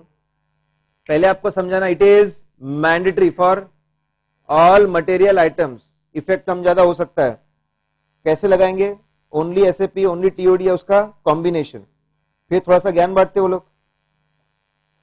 फिर थोड़ा सा ज्ञान बांटते what do mean by analytical procedures सुनो एनालिटिकल प्रोसीजर की डेफिनेशन बताते हो ऐसी बताए तो एनालिटिकल प्रोसीजर एक तरीका है फाइनेंशियल डेटा को चेक करने का। इसमें पहले हम सोचते हैं कि इस फाइनेंशियल डेटा का इंटर रिलेशनशिप क्या है। दूसरे फाइनेंशियल डेटा या नॉन फाइनेंशियल डेटा से, समझ रहे क्या? हम पहले इंटर रिलेशनशिप्स को समझते हैं उसको टेक्निकली वर्ड यूज़ करते हैं प्लॉजिबल रिलेशनशिप प्लॉजिबल मतलब क्या होता है? प्रोबेबल प्लॉजिबल मतलब प्रोबेबल एनालिटिकल प्रोसीजर एक तरीका है फाइनेंशियल डेटा को चेक करने का। इसमें हम लोग फाइनेंशियल डेटा का डेटा का रिलेशनशिप समझते हैं दूसरे फाइनेंशियल और नॉन फाइनेंशियल डेटा से। फिर ये समझने के बाद हमको समझता है कि कौन सा रेशियो कौन सा ग्राफ बनाना चाहिए। फिर हम लोग डेटा कलेक्ट करते कंपैरिजन करते, और फिर डिफरेंस निकला तो क्या करते? इन्वेस्टिगेशन मतलब सर हमने हमने रेशियो निकाला production per employee production per employee और इंडस्ट्री से कंपेयर किया। अगर इंडस्ट्री से मैच हो रहा है मतलब हमारा प्रोडक्शन रियलिस्टिक है। Correct now test of details इसमें समझाते सही। टेस्ट ऑफ़ डिटेल्स सोच समझ के मतलब थोड़ा सा एनालिटिकल का ज्ञान बांट दिया। थोड़ा सा किसका ज्ञान बांट रहा टेस्ट ऑफ़ डिटेल वो एग्ज़ाम्पल बहुत प्यारा है पे। अच्छा इंटरेस्टिंग टेस्ट ऑफ़ डिटेल में वो लोग बोलते हैं, थोड़ा केयरफुल रह के चलो, दिमाग ओपन रख के चलो। असर्शन पे चेंज होता है। तुमको टेस्ट ऑफ़ डिटेल क्या लगाना है? सपोज़ आपको एग्जिस्टेंस चेक करना है। क्या चेक करना है? एग्जिस्टेंस इन्वेंट्री का। तो बोले लिस्ट टू एक्चुअल्स देखना। कि लिस्ट में इतना दिख रहा है तो एक्चुअल्स में क्या? चल बता। तो क्या चेक होगा? एग्जिस्टेंस तुमको ये चेक करना है लिस्ट कंप्लीट है क्या? तो एक्चुअल से सिलेक्ट करो, गोडाउन में ये आइटम है, बता लिस्ट में क्या है। तो कंप्लीटनेस चेक होगा। Direction of checking depends on assertion अरे, समझा क्या बोला? अगर एग्जिस्टेंस चेक करना है तो लिस्ट में से सिलेक्ट करो रैंडमली और क्लाइंट को बोल, चल, बता गोडाउन में कहाँ रखा है? तो हम क्या चेक कर रहे हैं? एग्जिस्टेंस क्या चेक करें साहब? एग्जिस्टेंस और अगर हम लोग स्टॉक से, देखे कि भाई स्टॉक में से कुछ सिलेक्ट कर, बता लिस्ट में क्या वी आर चेकिंग कंप्लीटनेस अब सबसे खास 330 में लिखा है। It is mandatory to think it is mandatory to think साहब, ये मैंडेटरी है। मैंडेटरी है ये सोचना कि क्या एक्सटर्नल कंफर्मेशन को लगा सकते हैं क्या? और लगाना ही है, लगा सकते हैं तो। जैसे डेप्रिसिएशन में क्या लगाओगे एक्सटर्नल कंफर्मेशन फिक्स है, तुम्हारे पास रखा। किससे कंफर्म करोगे? नॉट पॉसिबल डेटर में पॉसिबल बैंक बैलेंस स्टॉक तीसरे के थर्ड पार्टी के पास है? मैंडेटरी है. 330 में सोचना मैंडेटरी है. Can we apply external confirmation if yes उसको लगाओ. और आखिरी बात. सब्सटेंटिव प्रोसेस होनी चाहिए. किसके लिए? क्लोजिंग प्रोसेस चेक करना पड़ेगा whether data in books of accounts it agree it reconciles agree with financial statements आप लोग करते होंगे. ट्रायल बैलेंस से एक एक टिक मारते हो गए, ये कहाँ जा रहा है, ये कहाँ जा रहा है, ये कहाँ जा रहा है। इट इज़ कंपलसरी टीम में से कुछ लोगों को बिठाकर चेक करवाना पड़ेगा कि बुक्स ऑफ़ अकाउंट्स का डेटा बराबर फाइनेंशियल स्टेटमेंट में जा रहा है कि नहीं आ रहा इज़ इट रिकनसाइलिंग दूसरा, किसी ना किसी को बिठाना पड़ेगा to check all the material journal entries and adjustments which are done at the year end सबसे ज़्यादा एडजस्टमेंट्स कहाँ पे ईयर एंड में? Depreciation year end inventory year end provision year end तो बोले, आखिरी में दो चीज़ें करना ज़रूरी है। This is substantive procedure this is substantive procedure समझिए सब? 300 सीरीज़ खत्म हुई भाई। ठीक है। सिक्स एंड पे चलिए।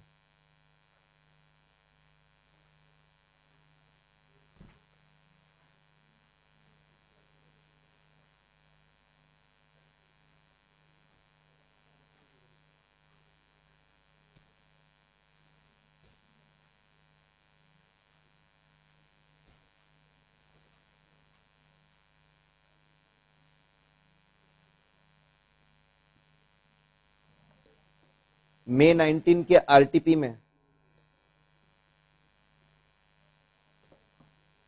मे 19 के आरटीपी में सवाल पूछा गया। भाई साहब थोड़ी थोड़ी जिम्मेदारियाँ समझा दो बोले। क्या जिम्मेदारियाँ होती है प्रिंसिपल ऑडिटर की और क्या जिम्मेदारियाँ होती है ब्रांच ऑडिटर की? नोट्स पे आइए। उस आंसर को फिर मैंने थोड़ा हुलिया बदला उसका, नहीं तो ऐसे गाथा डेढ़ पेज का पैराग्राफ खत्म ही नहीं हो रहा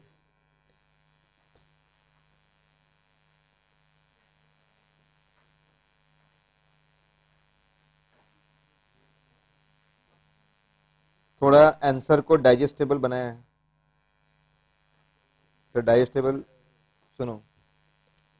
सवाल ये पूछा है कि क्या ज़िम्मेदारी है किसकी? अरे, किसकी? प्रिंसिपल ऑडिटर की और ब्रांच ऑडिटर की। ध्यान देंगे। अब इंस्टीट्यूट ने जैसा आंसर दिया है, वो बता रहा हूँ। पहले वो बोलते थोड़ा सा ज्ञान बांट देते हैं, उस पर कंपनीज़ एक्ट कंपनीज़ एक्ट में सेक्शन 143 सबसेक्शन 8 है। जो डील करता है ब्रांच ऑडिटर से, और उसमें एक सिंपल बात लिखी है, कंपनी चाहे तो सेपरेट ब्रांच ऑडिटर को रख सकती है। अगर डोमेस्टिक ब्रांच है इंडिया में तो ब्रांच ऑडिटर कौन बन सकता है? या तो आप एचओ का जो प्रिंसिपल ऑडिटर है, उससे करवा लो। या तो any person who is qualified and who is not disqualified, उससे आप करवा लो। Yes, no? तो कंपनीज़ एक्ट क्या बोल रहा है, ब्रांच ऑडिट के बारे में पहले वो बता रहे कंपनीज़ एकदम सिंपल सी बात बोल रहा है सेपरेट ब्रांच ऑडिटर पॉसिबल है। डोमेस्टिक ब्रांच है, दो लोग कर सकते हैं, या तो एच ऑडिटर या तो any person is qualified not disqualified foreign branch है तो वापस एच ऑडिटर से करवा सकते हैं, या फिर person who is qualified to do audit as per the foreign laws जहाँ पे ब्रांच है। इज़ पॉइंट क्लियर ये बहुत आसान बात है। अब बोले कंपनीज़ एक्ट हो गया ना, चल बेटा आ जा 600 के ऊपर। बोले जिम्मेदारियाँ क्या होती है दोनों की? बोले, ऐसे 600 में होता है। दोनों के बीच में अच्छी अंडरस्टैंडिंग अच्छा रैपो होना चाहिए, क्योंकि कुछ पार्ट ये चेक कर रहे हैं कुछ पार्ट वो चेक कर रहे। हैं और प्रिंसिपल ऑडिटर अपनी रिपोर्ट बनाना वाला है on the base of report given by branch auditor अच्छी अंडरस्टैंडिंग अच्छा रैपो अच्छा कम्युनिकेशन होना चाहिए। और कैसे इसको बेहतर करना, ये कहाँ पे समझा ऐसे? 600 में। अब क्या लिखा है वो देखो। Responsibility of principal auditor principal auditor ने सफिशियंट अप्रोप्रिएट ऑडिट एविडेंस इकट्ठा करना चाहिए कि ब्रांच ऑडिटर ने बराबर काम किया है ना whether has done proper work बोले, कैसे करेगा? मैंडेटरी प्रोसीजर से, नीचे। आसान है प्रेस फ्लो में पढ़ो क्विकली क्या क्वेश्चन है what are the responsibilities of principal auditor and branch auditor पहले क्या समझाएँगे? कंपनीज़ एक्ट में क्या लिखा है? Section one forty subsection eight time पास बात लिखिए फिर बोलेंगे ऐसे 600 दोनों के बीच में अच्छा रैपो अच्छी अंडरस्टैंडिंग अच्छा कम्युनिकेशन और 600 समझाता है। अब 600 समझा रहा है, किसकी ज़िम्मेदारी? प्रिंसिपल ऑडिटर की ज़िम्मेदारी। पहले प्रिंसिपल ऑडिटर तो उसकी ज़िम्मेदारी।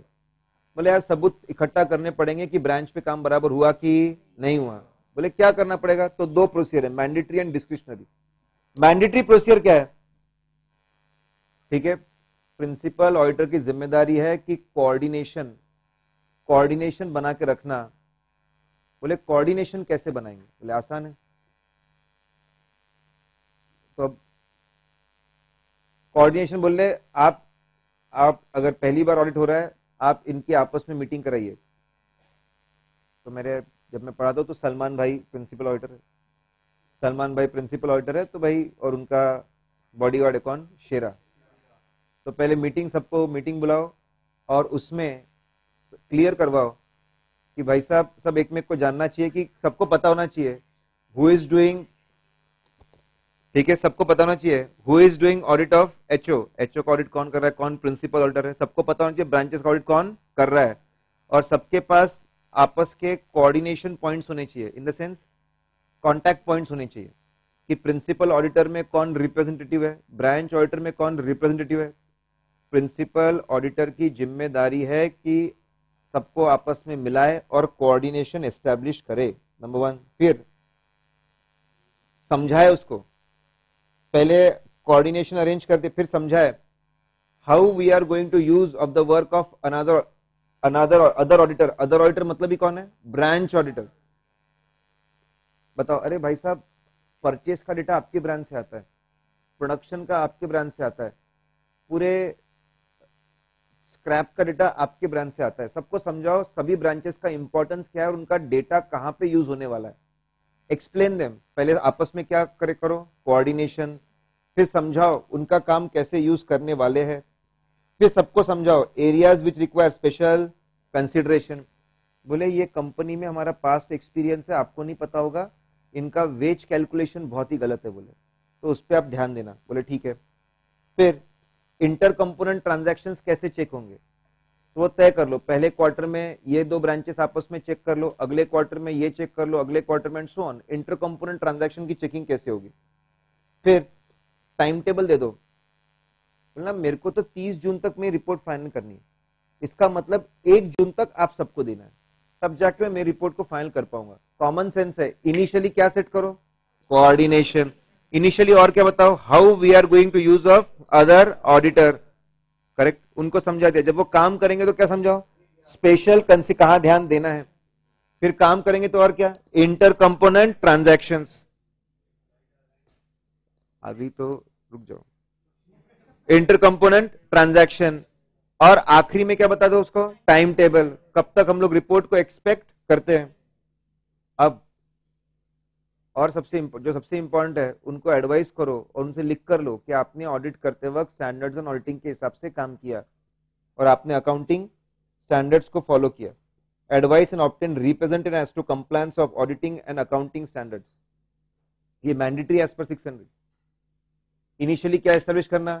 कोऑर्डिनेशन क्या समझाने का? यूज़ ऑफ़ दी वर्क फिर जब वो काम करेंगे तो स्पेशल ध्यान किस पे देना? चाहिए। इंटर कंपोनेंट ट्रांजेक्शन कैसे चेक करना? चाहिए। आखिरी में टाइम टेबल।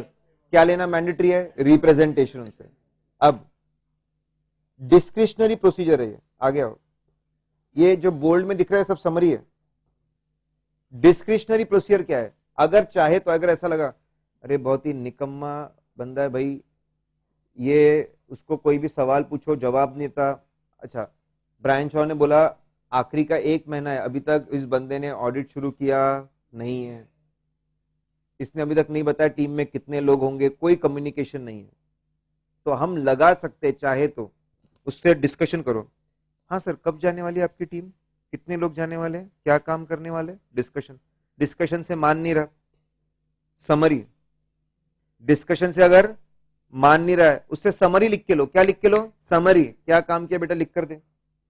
समरी अगर समरी भी लिख के दे रहा, तेरे से ना हो पाएगा बोले। तेरे से ना हो पाएगा, मैं तेरे को चेकलिस्ट भेजता हूँ। मैं तेरे क्या भेजता हूँ? चेकलिस्ट वो भर के देते बोले। और अगर ज़्यादा ही बड़ी बात है बोले, ये तो कुछ काम नहीं कर रहा, बहुत बड़ी ब्रांच है तो हमको क्या करना है? विज़िट क्विकली पहले। सब जवाब देंगे, अब तो फ़ैन भी शुरू हो गए। पहले क्या करेंगे? डिस्कशन बात नहीं बनी तो समरी। और नहीं बना तो चेकलिस्ट और नहीं तो विज़िट नाउ अगर सारे सबूत आपको सही मिले पहले के तो आपको ये ऊपर की चार प्रोसीजर लगाने की ज़रूरत नहीं है।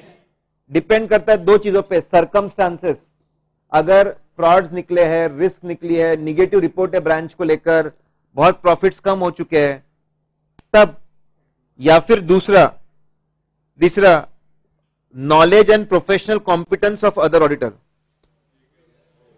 okay ठीक है? नाउ नोट्स पे देखो। दो चीज़ पे डिपेंड करेगा डिस्क्रिप्शनरी प्रोसीजर लगाना कि नहीं लगाना। सरकम ब्रांच में कितनी गड़बड़ चल रही है और दूसरा सामने वाले का कॉम्पिटेंस कितना है? आखिरी पॉइंट लिखा है राइट टू विज़िट लॉ में बहुत सी बार राइट टू विज़िट दिया जाता है। राइट टू विज़िट दिया जाता है। और स्टैंडर्ड भी बोलता है प्रिंसिपल ऑडिटर के पास राइट टू विज़िट है। अगर उसको ऐसा लगे कि बहुत ज़रूरी है तो उसने जाके विज़िट करना चाहिए। ब्रांच ऑडिटर उसको रोक नहीं सकता। बात समझिए साहब ये। और आखिरी में लिखा है ब्रांच ऑडिटर की ज़िम्मेदारी submit report to principal auditor समय समय पे सारी बातें बताए, अपनी रिपोर्ट आखिरी में सबमिट करे, और अगर फ्रॉड मिलता है तो फ्रॉड रिपोर्टिंग करे। तो ये लंबा चौड़ा, लेकिन मे 19 के आरटीपी में है। इसको प्रोसेस किया अपन ने। पहले क्विकली क्या? कंपनीज़ एक्ट पहले कंपनीज़ एक्ट फिर सिक्स हंड्रेड किसकी ज़िम्मेदारी? प्रिंसिपल ऑडिटर की ज़िम्मेदारी। उसमें भी पहले कौन सी प्रोसीजर मैंडेटरी ज़रूरत पड़ी तो डिस्क्रिशनरी और उसके बाद किस चीज़ थी ब्रांच की right to visit and then branch auditor की ज़िम्मेदारी अगला क्वेश्चन है 103.1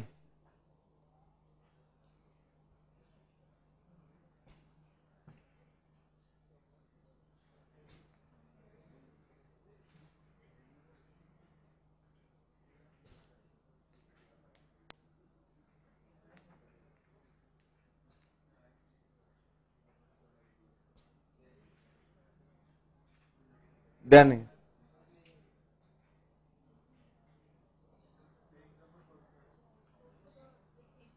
एक सौ बीस बहुत ही ज़्यादा पॉपुलर रहा है छह सौ दस। लिसन ध्यान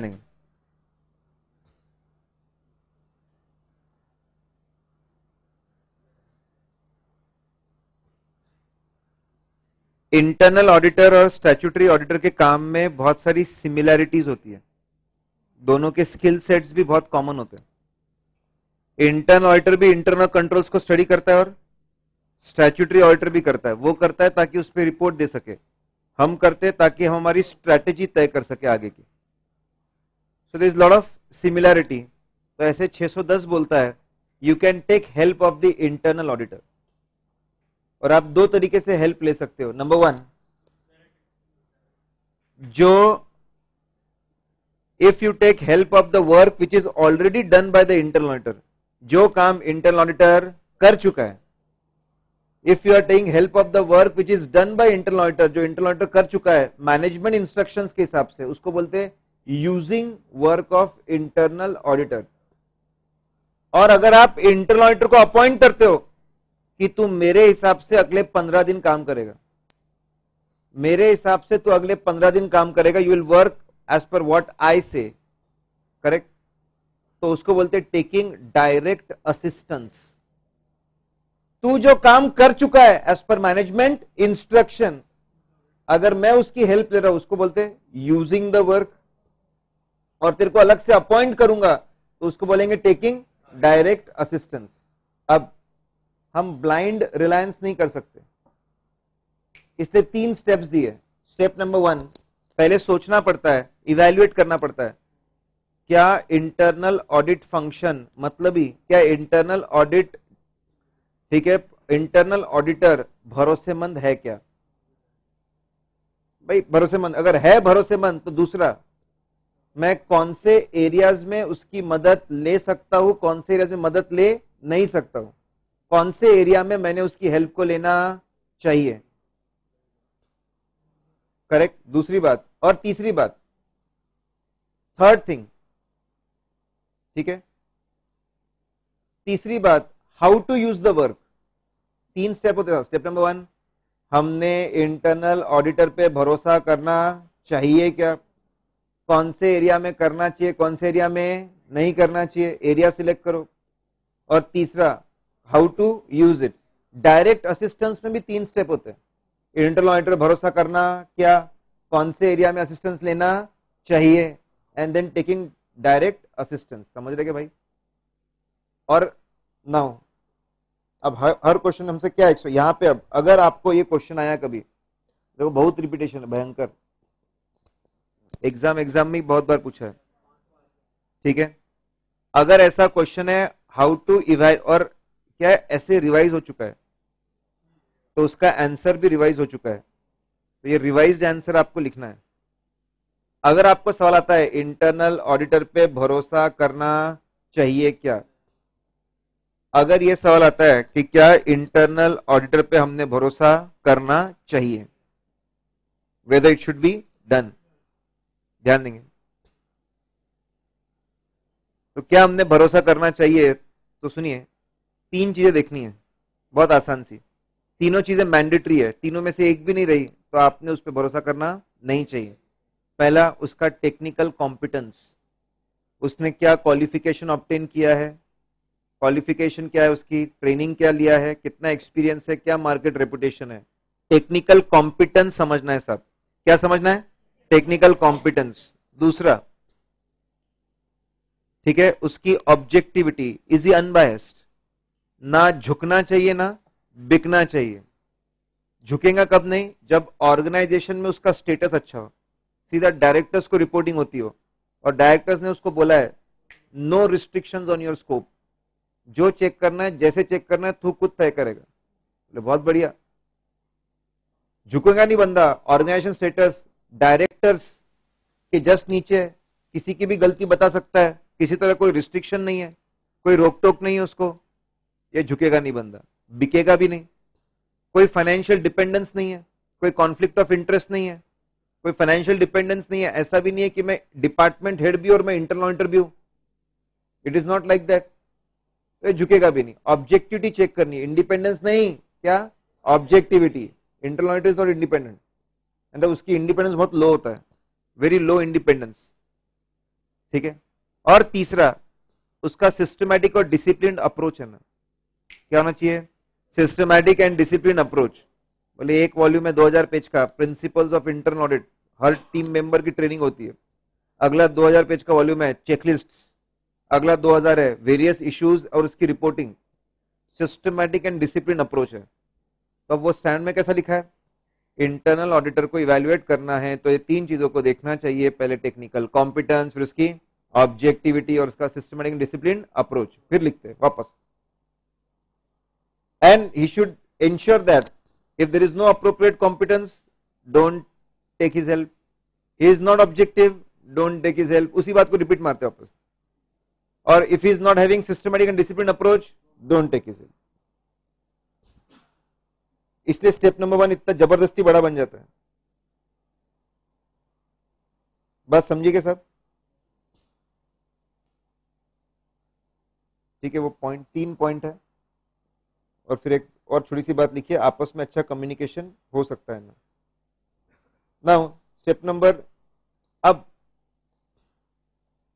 how to use the work अगर आपको क्वेश्चन आया तो दोनों बातें लिख देना हाउ टू यूज़ भी लिख देना। कौन से एरिया में यूज़ करना वो बात अभी यहाँ नहीं डिस्कस किए आंसर में ठीक है। ना लिसन बहुत आसान है। फ़ोन करना। इंटरलॉइटर को। और discuss plan use and coordinate activities discuss करो और कोऑर्डिनेट करो। सर आ,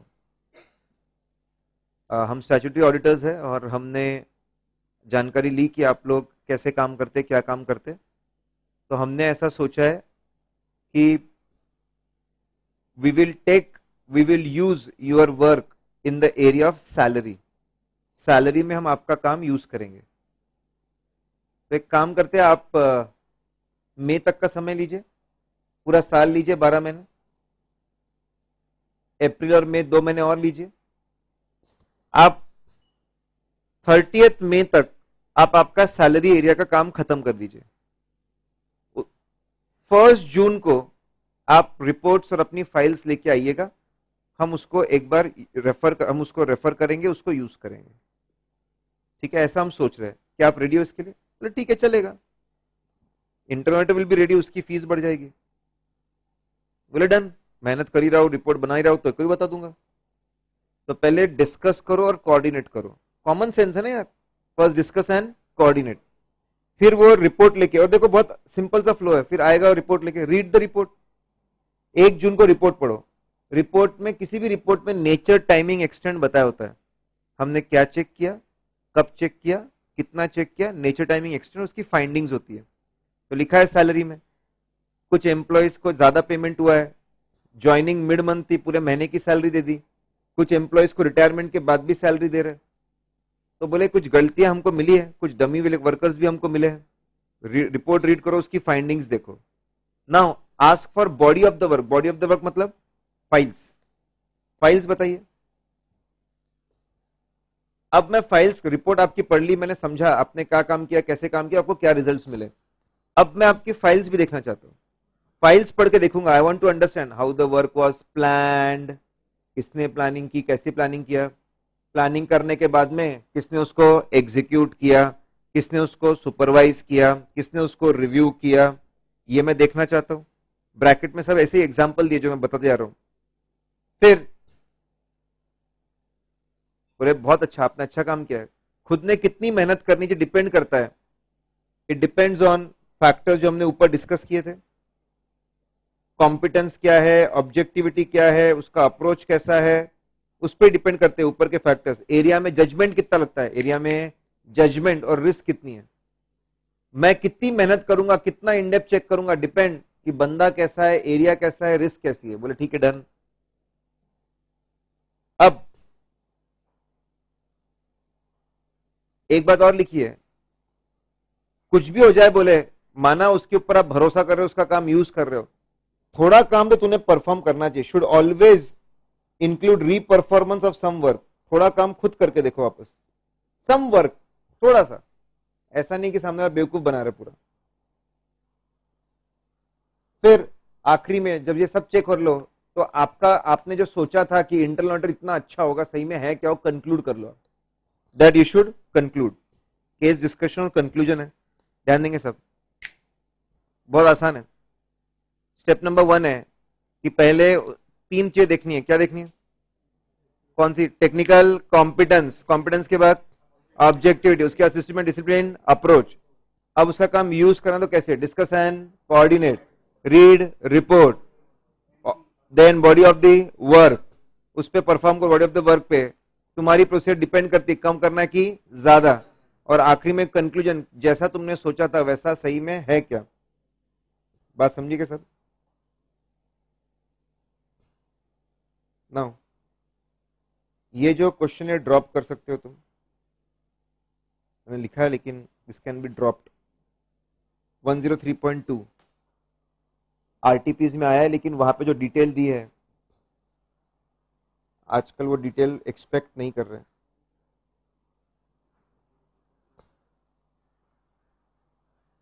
नाउ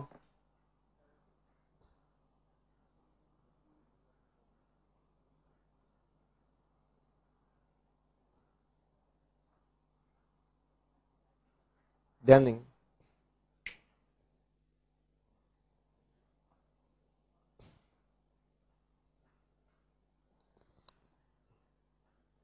कौन से एरियाज़ में कॉन्सेप्ट नंबर 103.30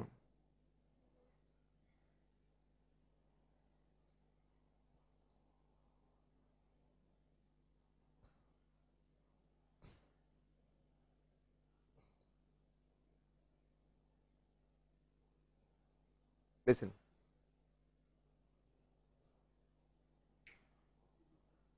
कौन सा ऐसे पढ़ो सब 600 दस। दो कॉन्सेप्ट है using the work and direct assistance. कैसे इवेल्युएट करना, कैसे यूज़ करना, देखा, अब ये सवाल पूछा है, जब हम डायरेक्ट असिस्टेंस लेते हैं तो कौन से एरिया में हमने असिस्टेंस लेना नहीं चाहिए? बहुत आसान। ध्यान देंगे।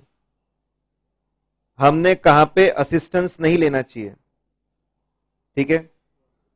जहाँ पे high risk of material misstatement हो जिस एरिया में high risk of material misstatement हो, वहाँ पे ज़्यादा से ज़्यादा काम स्टैच्यूटरी ऑडिटर ने खुद ने करने के बारे में सोचना चाहिए। इंटरनल ऑडिटर के भरोसे बैठना नहीं चाहिए। अच्छा मज़े की बात यह है। ये स्टेप कॉमन है सेम है। Whether you take direct assistance और whether you use the work of internal auditor high risk of material misstatement जहाँ पे, वहाँ पे आपने इंटरनल ऑडिटर के भरोसे नहीं बैठना चाहिए, वहाँ पे आपने खुद मेहनत करनी चाहिए। Significant judgments in audit. Audit में जहाँ जहाँ सिग्निफिकेंट जजमेंट्स लेने पड़ते हैं, इनिशियली सोचना पड़ता है, मटेरियलिटी कितनी होगी। खुद तय करो भाई। रिस्क असेसमेंट खुद करो। जो इंपॉर्टेंट जजमेंट है सारे तुमने खुद ने लगाने चाहिए। बहुत आसान है। कौन से एरिया हमने खुद ने करनी चाहिए? असिस्टेंस है जहाँ पे higher risk of material misstatement है, जहाँ पे सिग्निफिकेंट जजमेंट लगता हो। फिर एरियाज़ वेयर इंटरनल इन्वॉल्व जहाँ पे कॉन्फ्लिक्ट ऑफ़ इंटरेस्ट है। जहाँ पे कॉन्फ्लिक्ट ऑफ़ इंटरेस्ट है, उसने खुद नहीं मेहनत की उसने खुद नहीं काम किया है, उसने खुद ने अकाउंटिंग मतलब उसने खुद ने कंसल्टेंसी दी है, उसी से चेक करवाना नहीं चाहिए। ठीक है? Are you getting this point अच्छा डिसीजंस अंडर ऐसे 610 उसके ऊपर मत छोड़ो। तू तय करके बता कि असिस्टेंस लेना कि नहीं लेना। ओ भाई, ये तो काम तुमको खुद को करना पड़ेगा। ये काम थोड़ी उसको दे सकते हो। देखो, आसान है। कौन सा काम उसके भरोसे नहीं छोड़ना चाहिए? जहाँ पे high risk of material misstatement हो, जहाँ पे सिग्निफिकेंट जजमेंट लगता हो, जहाँ पे वो इन्वॉल्व हो, और ऐसे 610 की बातें, वो तुम खुद तय करो। अब फिर ये समझा है सिग्निफिकेंट जजमेंट जनरली कहाँ लगता है? और वहाँ पे शॉर्टकट दिया है grades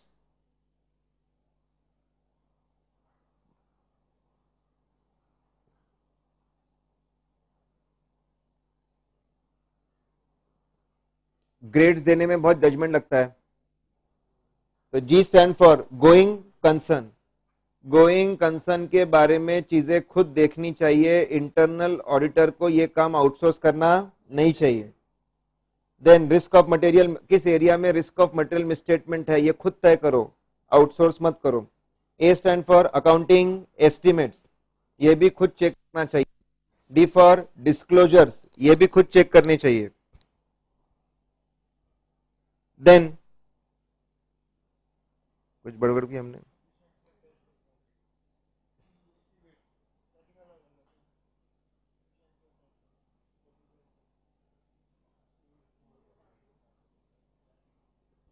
accounting estimates. Then S stand for sufficiency of tests performed.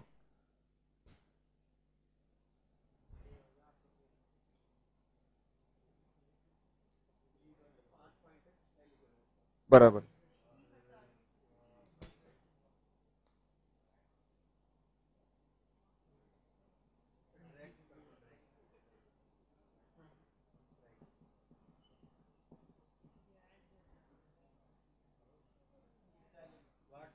एक मिनट।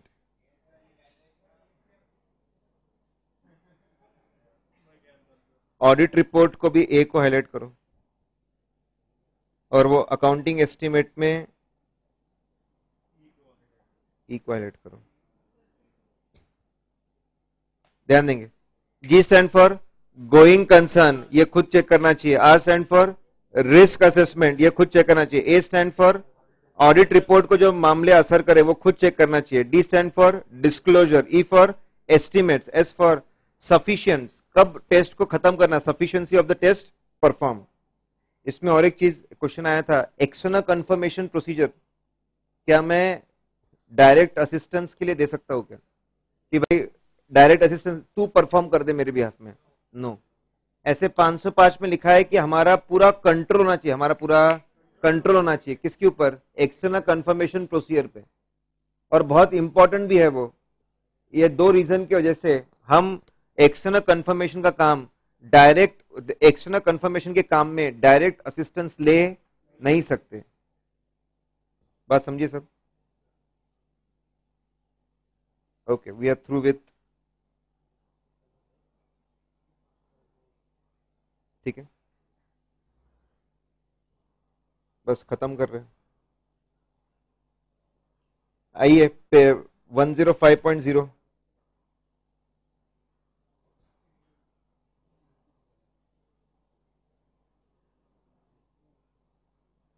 बस थोड़ी सी बात है ध्यान देंगे one zero five point zero और उसके नीचे वन ज़ीरो, अरे वो तो अति अति इंपॉर्टेंट है, one zero five point one zero. अठारह मॉक टेस्ट उन्नीस मॉक टेस्ट उन्नीस RTP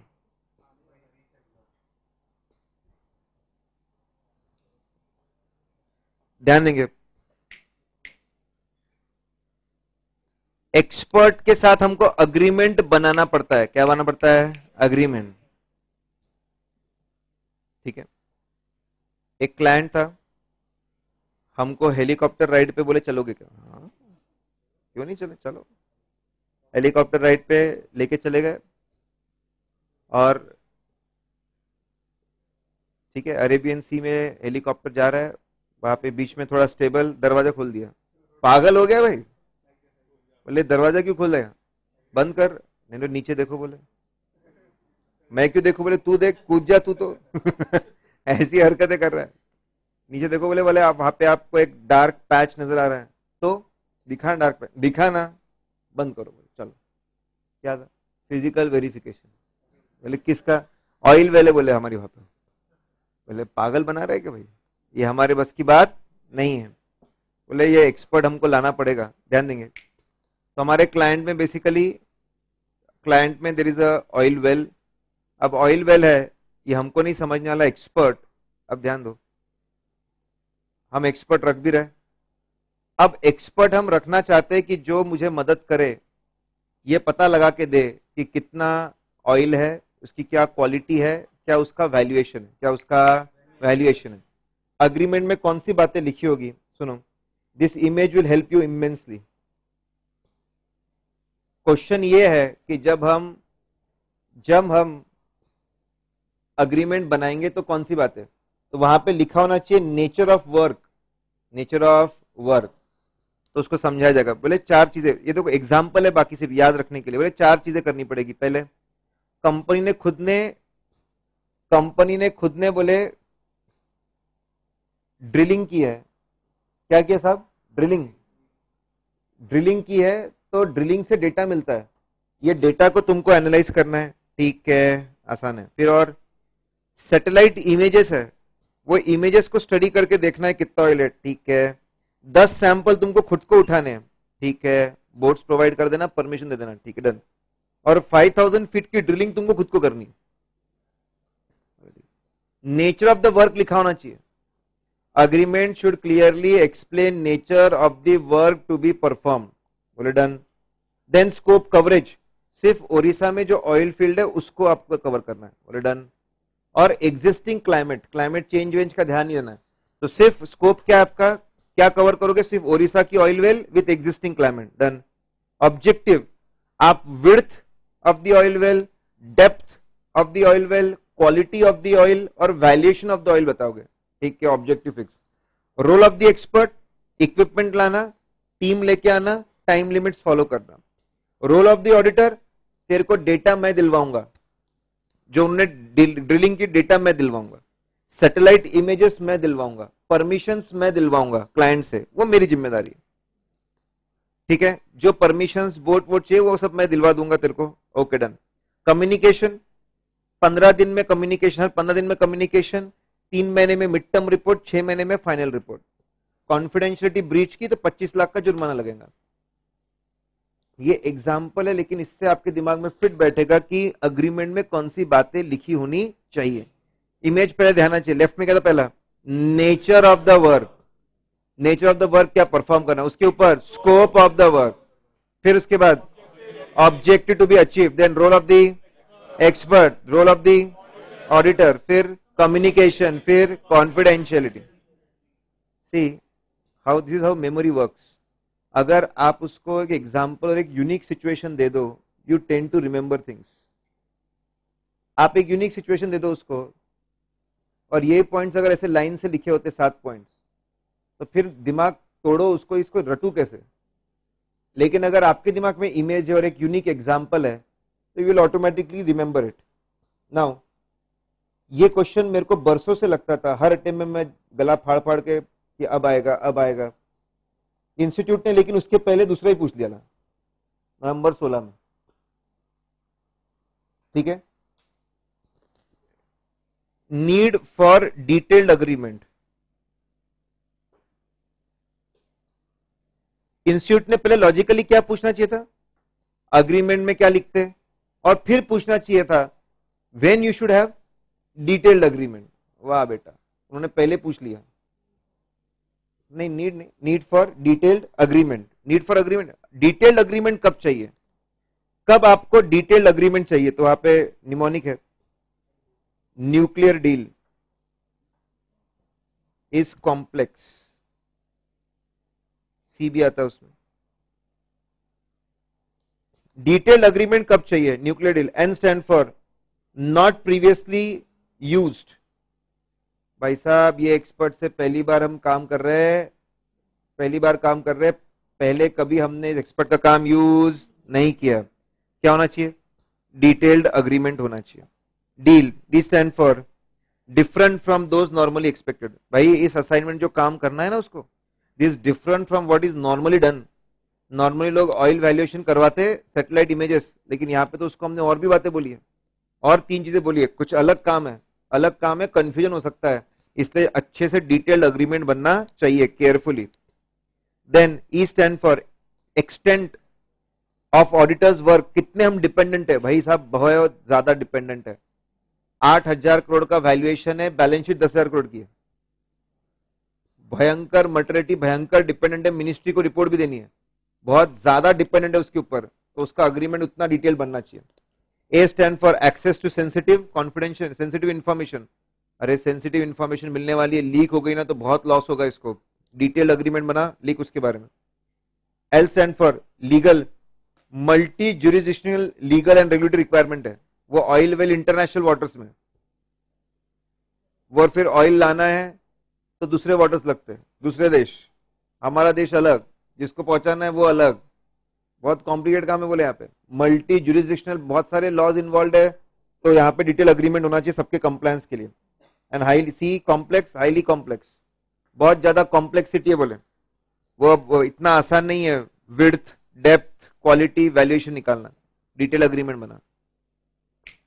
N stand for not previously use ठीक है? D stand for different work E stand for extend बहुत ज़्यादा भरोसा कर रहे हैं।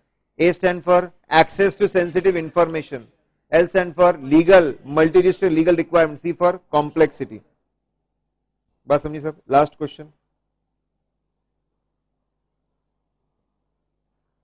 106.10 पेज नंबर 128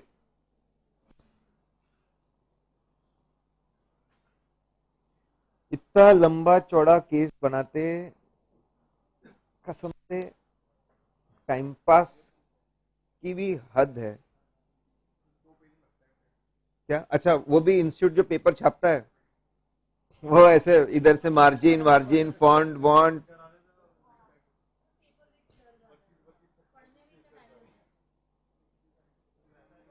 mind game खेल रहे हैं आपके साथ। इस बार तो बहुत अच्छा इंटीग्रेट एमसीक्यूज है। केस एक रहेगी एमसीक्यू पाँच होंगे। Yes it should be easy लेकिन उसमें भी कुछ बच्चे हैं। भाई, रोता कुछ लोग बंद ही नहीं करते। सर कैसे होगा इंटीग्रेट अरे, कैसे होगा इट इज़ एमसीक्यू उल्टा वर्कलोड कम हो जाएगा। इंटीग्रेट एमसीक्यू में कैसे होगा अरे भाई, एक ही बार केस पढ़ना है। और मैं आपको बताऊँ केस अभी एमसीक्यू निकला तो भी। एमसीक्यू में सबसे इंपॉर्टेंट है आखिरी दो तीन लाइन पढ़ना। और ऑप्शंस को स्टडी करना। ऑप्शन को स्टडी करना ज़्यादा इंपॉर्टेंट है as compare to analysing the question कौन से दो ऑप्शन सेम बात बोलना चाहते हैं? किसमें कौन सी एक्स्ट्रा बात लिखी हुई है? मतलब पहले तो सिर्फ़ ओवरव्यू हाँ फलाना फलाना फलाना। क्वेश्चन क्या है? ऑप्शन क्या है? फिर बाद में आगे वापस केस पढ़ूँगा कि इंपॉर्टेंट इंफॉर्मेशन कौन सी है। बात समझ रहे क्या? अगर तो आप उल्टा करते हो ऐसा पहले मैं लाइन लाइन पढ़ करके एमसीक्यू पढ़ता हूँ। बेकार, सत्यानाश एक एक एमसीक्यू में वेस्ट करूँगे पाँच पाँच मिनट वो बेकार की बात कंपनी कब एस्टेब्लिश हुई, उसकी हिस्ट्री क्या थी, उसका टर्नओवर क्या था, उसका फाउंडर कौन था, सब बेकार। उस पर ध्यान ही नहीं देना था। बात समझ रहे क्या सब? You need to be smart when you solve MCQs मुद्दे की बात है, आखिरी तीन चार लाइन, और फिर हाँ जाके पढ़ेंगे ना डिटेल सिर्फ़ उतना ही पोर्शन डिटेल में पढ़ेंगे जिसकी ज़रूरत है। एनीवे देखो भावुक हो गए। अच्छा यहाँ पे सवाल यह है हमने एक्सपर्ट की रिपोर्ट ली, उसको पढ़ा, उसके हमको, हमारे ऑडिट फ़ाइल में लगाया, क्या उसको रेफर करेंगे क्या ऑडिट रिपोर्ट में? लिखेंगे क्या? ऑडिट एक्सपर्ट की रिपोर्ट हम लोगों ने यूज़ करके हमारा ओपिनियन बनाया। क्या हम लोग करेंगे? आंसर इज़ अगर अनमॉडिफाइड रिपोर्ट है, ठीक है?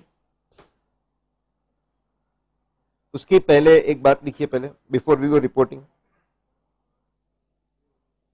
ऐसे 620 में समझाया कि कभी भी अगर आपको ऑडिटर का काम चेक करके ऐसा लगा, यार, मज़ा नहीं I am not getting sufficient appropriate evidence I am not getting adequate I am not getting adequate evidence तो आपने एक्सपर्ट को बुलाना चाहिए, उसको, उसके साथ वापस डिस्कशन वापस अग्रीमेंट बनाना चाहिए you should ask him to do work again as per the revised instruction as per the revised agreement to go back and do work again ऐसा बोलना चाहिए।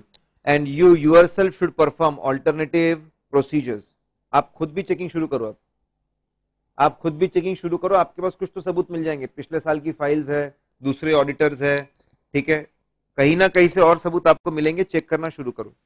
अगर आपका सक्सेसफुल नहीं हुआ है ना वो काम बराबर कर रहा है वापस ना आपको सबूत मिल रहा है then you are suppose to modify you are suppose to modify आपको मॉडिफाई करना पड़ेगा आपका ओपिनियन बात समझ रहे क्या साहब? Are you getting this point पहले सीधा रिपोर्टिंग पे नहीं आते पहले बता रहे वो अगर काम आपको सबूत नहीं मिल रहा है आपको वो काम बराबर नहीं कर रहा, आपको भी ऑल्टरनेटिव प्रोसेस सबूत नहीं मिल रहा है तो आपको क्वालिफाइड डिस्क्लेमर करना पड़ेगा मॉडिफाई करना पड़ेगा. अब बता रहे अगर क्लीन रिपोर्ट देते, किसी को अच्छा बोलते ना तो जस्टिफिकेशन ही देना पड़ता। कोई रीजन नहीं माँगता। फाइनेंशियल स्टेटमेंट अच्छे है मतलब है, उसमें और क्या जस्टिफाई करोगे तुम? तो बोले, आपको अगर आप अनमोडिफाइड ओपन दे रहे हो तो जनरली आपको कोई रेफरेंस देने की कोई ज़रूरत नहीं nothing it is good it is good unless required by law लेकिन अगर आप मॉडिफाई कर रहे हो, आप बोल रहे हो चीज़ें गलत है then you have to have a basis of opinion paragraph क्या लगता है आपको? बेसिस ऑफ़ ओपिनियन पैराग्राफ वहाँ पे आपको रीजन देना पड़ता क्वांटिफाई करना पड़ता अमाउंट बताना पड़ता है वहाँ पे आप रेफरेंस दे सकते हो that you have relied that you have relied आपने रिलाई किया है। ठीक है? You have relied on work done by the expert लेकिन सब में कभी भी अगर आपने रेफरेंस दिया है एक्सपर्ट के रिपोर्ट का रेफरेंस आपने दिया है it will it is not going to reduce your responsibility in any manner audit का एक स्टैंडर्ड प्रिंसिपल है. यू कैन डेलीगेट अरे you can delegate work but you cannot delegate responsibility काम असिस्टेंट से कराओ, किसी से भी कराओ, लेकिन जिम्मेवारी हमेशा तुम्हारी होगी। मैं नोट्स किसी भी एडिट कराओ, किसी भी प्रिंट कराओ, किसी भी ट्रांसपोर्ट कराओ responsibility will be mine you can delegate work you can not delegate responsibility कहीं पर भी, ना ब्रांच ऑडिट दो एक्सेप्शन है। दो एक्सेप्शन है branch audit and joint audit branch audit में गलती हुई तो ब्रांच ऑडिट की गलती है। ज्वाइंट ऑडिट में गलती हुई तो ज्वाइंट ऑडिट की गलती है। तुम होनार बुद्धिमान, शक्तिमान, तुम खुद अपने आप में चार्ट अकाउंटेंट हो और मैनेजमेंट ने तुमको अपॉइंट किया है। मैं कहा बीच में आया? तुम्हारा, तुम, तुम्हारी ज़िम्मेदारी तुम उठाओगे। तो ध्यान रखना एक्सेप्शन ओनली दो होते हैं। कौन से? 600 और 299 branch auditor and joint auditor ये आखिरी क्वेश्चन 107.0 बस इतना लिख दो। क्वेश्चन में एक एरर भी है। ये 50 करोड़ मतलब अपने बुक में एरर नहीं, वो, जो उन्होंने पीएम में क्वेश्चन छापा, उसमें ही गलती है। पचास करोड़ करो उसको।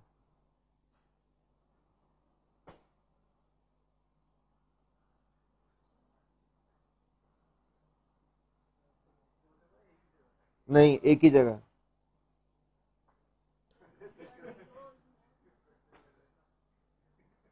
ये फटाफट हेडिंग्स लिख दो। सुनो लिखते जाओ, सुनते भी जाओ कि क्या किया, क्या क्वेश्चन है। सवाल ऐसा है कि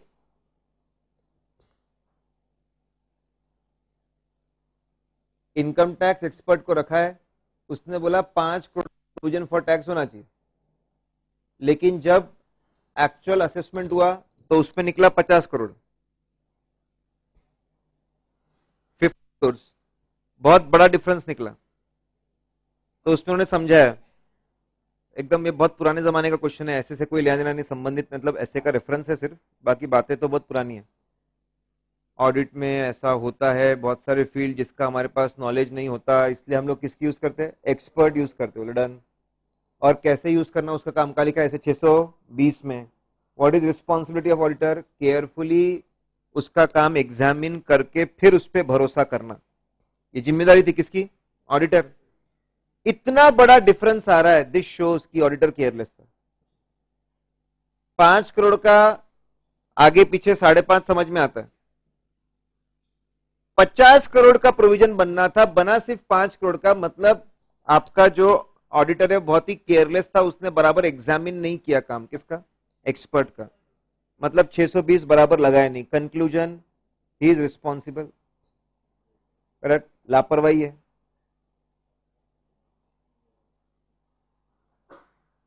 The auditor should have rejected the opinion and insisted upon making proper provision auditor की गलती है इसके अंदर।